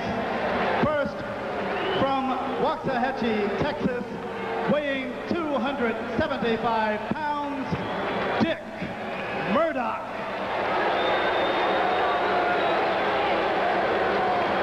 And New York City, New York, weighing 251 pounds, Adrian Adonis. All right, the matchups are plain and simple. All gentlemen we're very well aware of their talents and the matchups. It's going to be a tough night for all four. I don't know who will prevail, but uh, Backlund and you have uh, Brian Blair, very sleek. The scientific type, if you want. The other two gentlemen, sort of the brawlers. Adrian Adonis, especially known for that. But nevertheless, each man respects the other. You don't argue with success, though, Dick Graham. Absolutely. And right now, it is Adonis and Murdoch who are in the possession of those World Wrestling Federation Tag Team Championship belts. Well, a crowd now starting to get on the case of Adrian Adonis this week. Sound of the bell and away we go. Dick Murdoch. Brian Blair, his adversary, and that's exactly the term to use. Uh, definitely a, a, height advantage for Murdoch and also a weight advantage if there is one. Well, Brian Blair can hold his own. Murdoch at 275 and Blair at 234. That was a, a nice gesture on the part of Bob Backlund. Collared elbow hookup. Blair trying to get down low, keep those legs apart, and he drives Murdoch back into the turnbuckles. Well, a clean break. Brian, Brian Blair backs off, and uh, so far, so good. I have been impressed with B. Brian Blair, both of the single individual matches he's had here in the World Wrestling Federation, but especially in tag team bouts. The man has a tremendous knack to be able to communicate with his partner, and that, of course, is the name of the game in tag team competition. Well, we know basically that uh, the former champion, Bob Backlund, has wrestled as a single so very often, but then again has the capability, being flexible, of wrestling with another, in this case, Brian Blair. Oh, we got action. Oh, oh nice arm drag. Beautifully executed. Backlund, uh, not too thrilled with something, made a move as if going into the ring. Well, right on, B. Brian Blair working on that left arm of Dick Murdoch. Murdoch showing us a move or two. Comes up with a couple of consecutive uh, elbows to the top of the head of B. Brian Blair. Oh. shoulder takedown. Oh, talk about action. Beautiful hip lock. This B. Brian Blair, and I told you, Dick Graham, you were going to be impressed. He is a real spark plug. Arm drag. Look at that. Well, we've seen Brian Blair in this arena on only two other occasions, I believe, and he does impress. He's a man uh, very well set up, exercises regularly, works out, keeps himself in shape, and more important than anything, does know how to wrestle. Attended the University of Louisville all-around athlete. He is from Tampa, Florida. Dick Murdoch exercising roughhouse tactics, and if you want to play rough, oh, well, he just well, probably playing with the wrong guy downstairs. Well, Adonis gets the uh, tag. He comes in. Nice arm drag takedown. And boy, I'm telling you, Brian Blair's handing Adonis all he needs right now. And this arena is buzzing this week as tag team action is in progress. between B. Brian Blair, Bob Backlund on one side, meeting the duel of Dick Murdoch, Adrian Adonis, current World Wrestling Federation Tag Team Champions. Good shot of the native of New York. Forearm to the chops. And now into the ropes. Shoulder. Down goes Blair. Again Adonis off the ropes. Flying high. Jump over by Blair. Oh, Monkey beautiful flip. timing. Beautiful. Followed by an arm drag. Woo! Oh, talk about your action. Blair again. Oh, mercy. A one-man game. Oh, he came into the wrong side of the rope. Oh, no. Backward. Oh. Adrian Adonis made a big mistake. And he's going to get a powder or take a powder. Backlund comes after him. Throws him underneath the rope. Back into the ring. To face the music of B. Oh. Brian Blair. He tried for a tag with uh, Murdoch, missed. So Murdoch can't help him right now. All right, at Backlund making a fist, shaking his arm to his partner, saying, good going, hang in there, you're doing fine. Backlund as yet has not made an appearance in the ring, well, sort of, but yet not. And, uh, but officially he's not been in the ring. Boy, this Blair can turn it on. Great shot. Blair working on the left arm and moves up with the shoulder periodically on Adrian Adonis. 254 pounds, New York City. Well, uh, Blair just a few minutes ago was taking on both these gentlemen. But now Adonis has got the, The knee pad of Brian knee- Blair. I couldn't believe that. Now Blair didn't take that for long. Something has got to give. A couple of times over on the armbar with a wrist, and something has got to give. Forearm to the chops. Oh! Shoulder. block. He blew. Oh! Took the elbow right on the neck, right on the throat. Well, initially, though, he blew Murdoch away. Murdoch misses with an elbow drop. Blair picking Murdoch up. Body slam with authority. Dick Graham, you are seeing some kind of tag team action. This is a half now. Bob Backlund in against Murdoch. A double body slam. First Wow. Blair, then Backlund, Oh, and Adonis and Murdoch on a receiving end of some pretty Well- good punishment. Oh, a miss when he tried for the tag. but he tried for the tag and went right over the top rope and crashed down. He's stunned. Well- Murdoch is on the short end now with Blair. Fell flat on his face, Adonis did. And now, both men on their feet. There is hair right in front of the referee's eyes. Joey Marella, third man in the ring, officiating this match this week here in the World Wrestling Federation. Well, totally illegal double teaming tactics on the part of Murdoch and Adonis to beat Brian Blair, and they continue to do so. Well, Backlund, of course, going crazy because no tag, and he does follow the rules wherever he can. But right now, it's Blair in with Adonis, and Blair stunned into the ring turnbuckle. Oh! Backed out very quickly. There's the the tag. made. And now here, ladies Backlund. and gentlemen, comes Bob Backlund. Native of Princeton, Minnesota. Held the World Wrestling Federation Oh! heavyweight title. Five years plus and all. Adonis just about flew out of the ring and did a complete somersault. Well, Adonis facing Backlund for oh, the first time tonight, I'll oh. tell you, man. Now Backlund, Backlund, inviting Murdoch in, and Murdoch he wants a hunk of Backlund, but Backlund wants all of him. But it, well, Well, there's a little dialogue being exchanged between Backlund and Murdoch. well, And I don't know if it bears repeating, but perhaps it couldn't be repeated anyway. You're very right. But dirty looks could kill, why Backlund wouldn't be here right now. But nevertheless, it takes more than that. A series of elbow smashes on Backlund by Murdoch. He's taking it to the Oh, former block. champion. Oh! He, he laid an elbow, forearm and elbow on Murdoch, drove him right across the ring. Boy, he brought that one up from his bootlaces. Tag. tag. Oh, Murdoch is checking the inventory in the tooth department. I believe he's minus a tooth or two. He is that, and uh, Brian Blair Oh. giving a lick and a, a shot to Adonis on the other side of the ring. But I told you you were going to be impressed with one of the bright rising young stars on the horizon in a World Wrestling Federation, Dick Graham. That's what I said at the outset about Brian Blair, and I think you're going to have to agree he's everything I said he was. No quarrel. He's probably more than you said. Blair has it all. Got the moves, the strength, the vitality. And he better, he better have a little resiliency because he has taken a pretty good shellacking right now at the ah. hands of Richard Murdoch. Double teaming again. No, no. Oh! Double Backlund. elbows. Well, Backlund started into the ring. He's warned off by referee Marella. And now Again to the trunks. Back in that corner.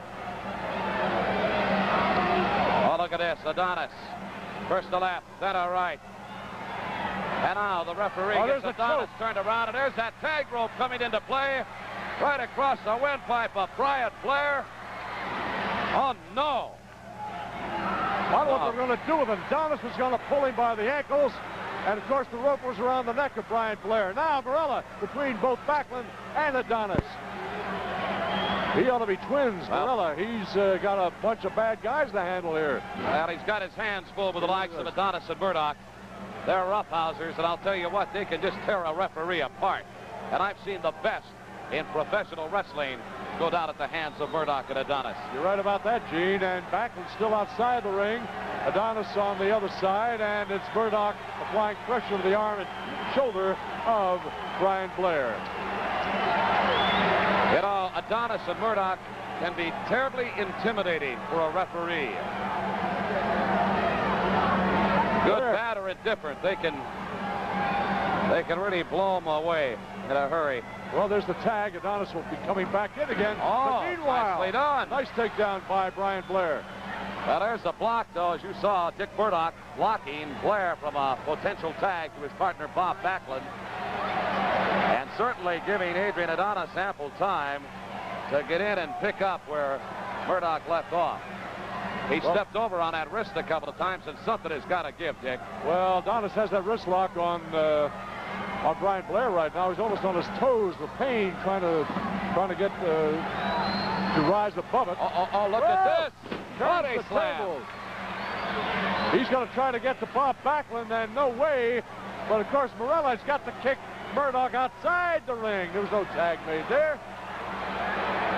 Backlund going crazy, just dying to get in there. Look at Murdoch. Going to work on Blair. B. Brian has done all he can for one man, but it's been a basically a two-on-one situation as of late in the going here. Well, Murdoch has the weight advantage right now, trying to hold Blair from making a tag at Backlund. There's about two feet separating the two when they outstretch their arms. And Murdoch still maintaining control here. Woo! You know, Blair's got to be in fantastic shape, fantastic condition to withstand everything that he's taken thus far. Hip lock takedown. And again, look at that. Adrian Adonis in the ring and wasn't even a tag. He just came in and totally one-sided. The fans are really getting really upset about this, as we are here at ringside. Side headlock, Adonis to Blair. Go take him into the ring. Oh! What a what All a last minute ditch effort on the part of B. Brian Blair, and he doesn't even know where his partner. Oh, he found him. Oh! Now Here we Backlund. go.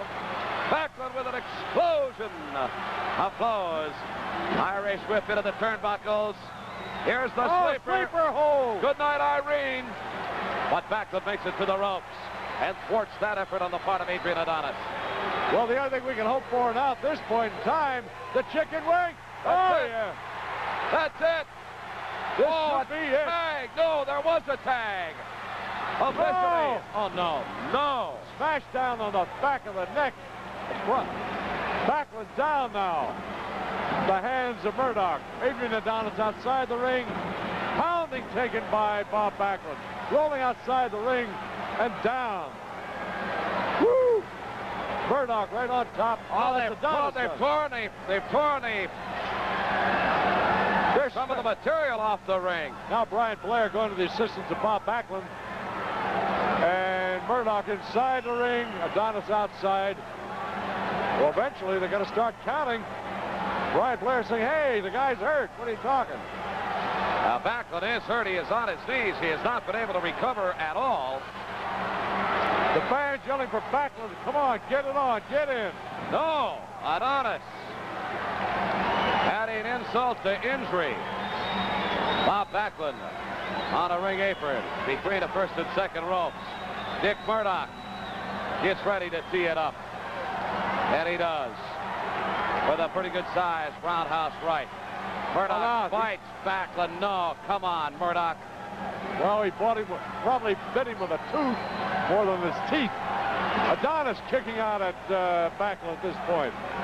And I'm surprised that Backlund didn't buy the farm. He took just a absolutely devastating blow outside of the ring. I talk about outside the ring, he's outside again. And you've got to remember now, Dick Graham, we're talking about a hard cement floor. This is like a rock. You land uh, this thing from 8, 10, 12 feet up in the air. That's conceivable if you go off the top rope. Well, Backlund struggling as the champ, former champion that he is, struggling to get back in the ring and is back now, although Days had Murdoch take him to the ropes. Backlund, oh, Backlund. Oh. Tries for the sunset oh, flip, and he does the one, two. Almost, almost. The tag made. Adonis back now. Uh oh, he'll make a wish. And there was a boot to the upper inner thigh, a pop oh, Adonis spit at Brian Blair. but in the meantime, referee's back turned. Oh, Backlund saw it coming and couldn't get out of the way. That had to hit him in the throat just by the instinctive reaction of the man's body. Well, Backlund's down, and uh, Adrian right on top of him. Well, Backlund makes it to the ropes. Oh, no. All right, Murdoch outside. Oh, man. Give me a break, ref. Throw it out. Now Murdoch has Brian oh. Blair. Takes him into oh, the wrought God's iron. sakes. You talk about a brawl. This is it and a half. I'll tell you, we could have just as well been in a back alley someplace. Somewhere in a back alley. Adonis, Backlund doesn't even know that Brian Blair's not there to tag. He's trying to get over to that corner. There is Strong's again at a part of Adrian Adonis. Goes for the pickup. Oh! Takes him right down. Now look at this. B. Brian Blair quite the cheerleader because he's got this capacity crowd charged up. And there's the chant of Bobby. Bobby beating the one and only Bob Backlund. Backlund. Backlund. Oh, Backlund is all over the place. He's trying desperately Even in light of the fact that two men are on him. A pickup. Oh, Backlund reverses it. Oh, no. He hurt his knee. He did, I think. I don't know whether he can crawl over there and make that tag or not.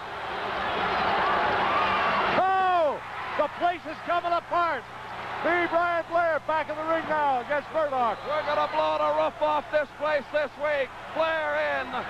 Right, left, back and forth. Whip into the oh! Adonis is on top of the rope. Look at this Blair. One man gang. Oh. Man. And now Adonis hung up on the ropes. There they smash together. Oh. On there's no way that Adonis can get on unless he gets some help. Hey, Brian Blair. Murdoch is going around in circles. All four men in the ring. Look at this. Oh, oh, shoulder into that ring post. Well, if he can get up from this, I'll be surprised. But the oh, double out. Up, head over. Woo! Double back body drop. Boom! From Blair and Backlund. One, two. And a kick out. Oh, how close oh. to see a new World Tag Team Champion. Almost did. Into the ropes. Here it is. All right. Here it is, abdominal stretch, takedown. One, two. Oh. oh. Blair had to break the hold to get away from the elbow of Adonis. Hey, do we have new champions? I don't know. But apparently not. Watch this maneuver. Oh. oh! It is all over. It really is. Oh, my. It could... If, if Brian Blair gets up from this in a while... It would be a miracle. Oh, that's it. It could have been three or 300. Oh, not a popular decision.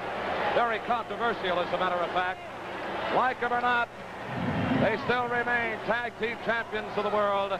Adrian Adonis and Dick Murdoch getting the Duke over Bob Backlund and B. Brian Blair. And again, I must emphasize a very, very controversial decision. Absolutely, Gene. I'll tell you right now, Brian Blair's in bad shape, favoring his head. He took a terrible pounding coming off that top rope at the hands of Murdoch and Adonis.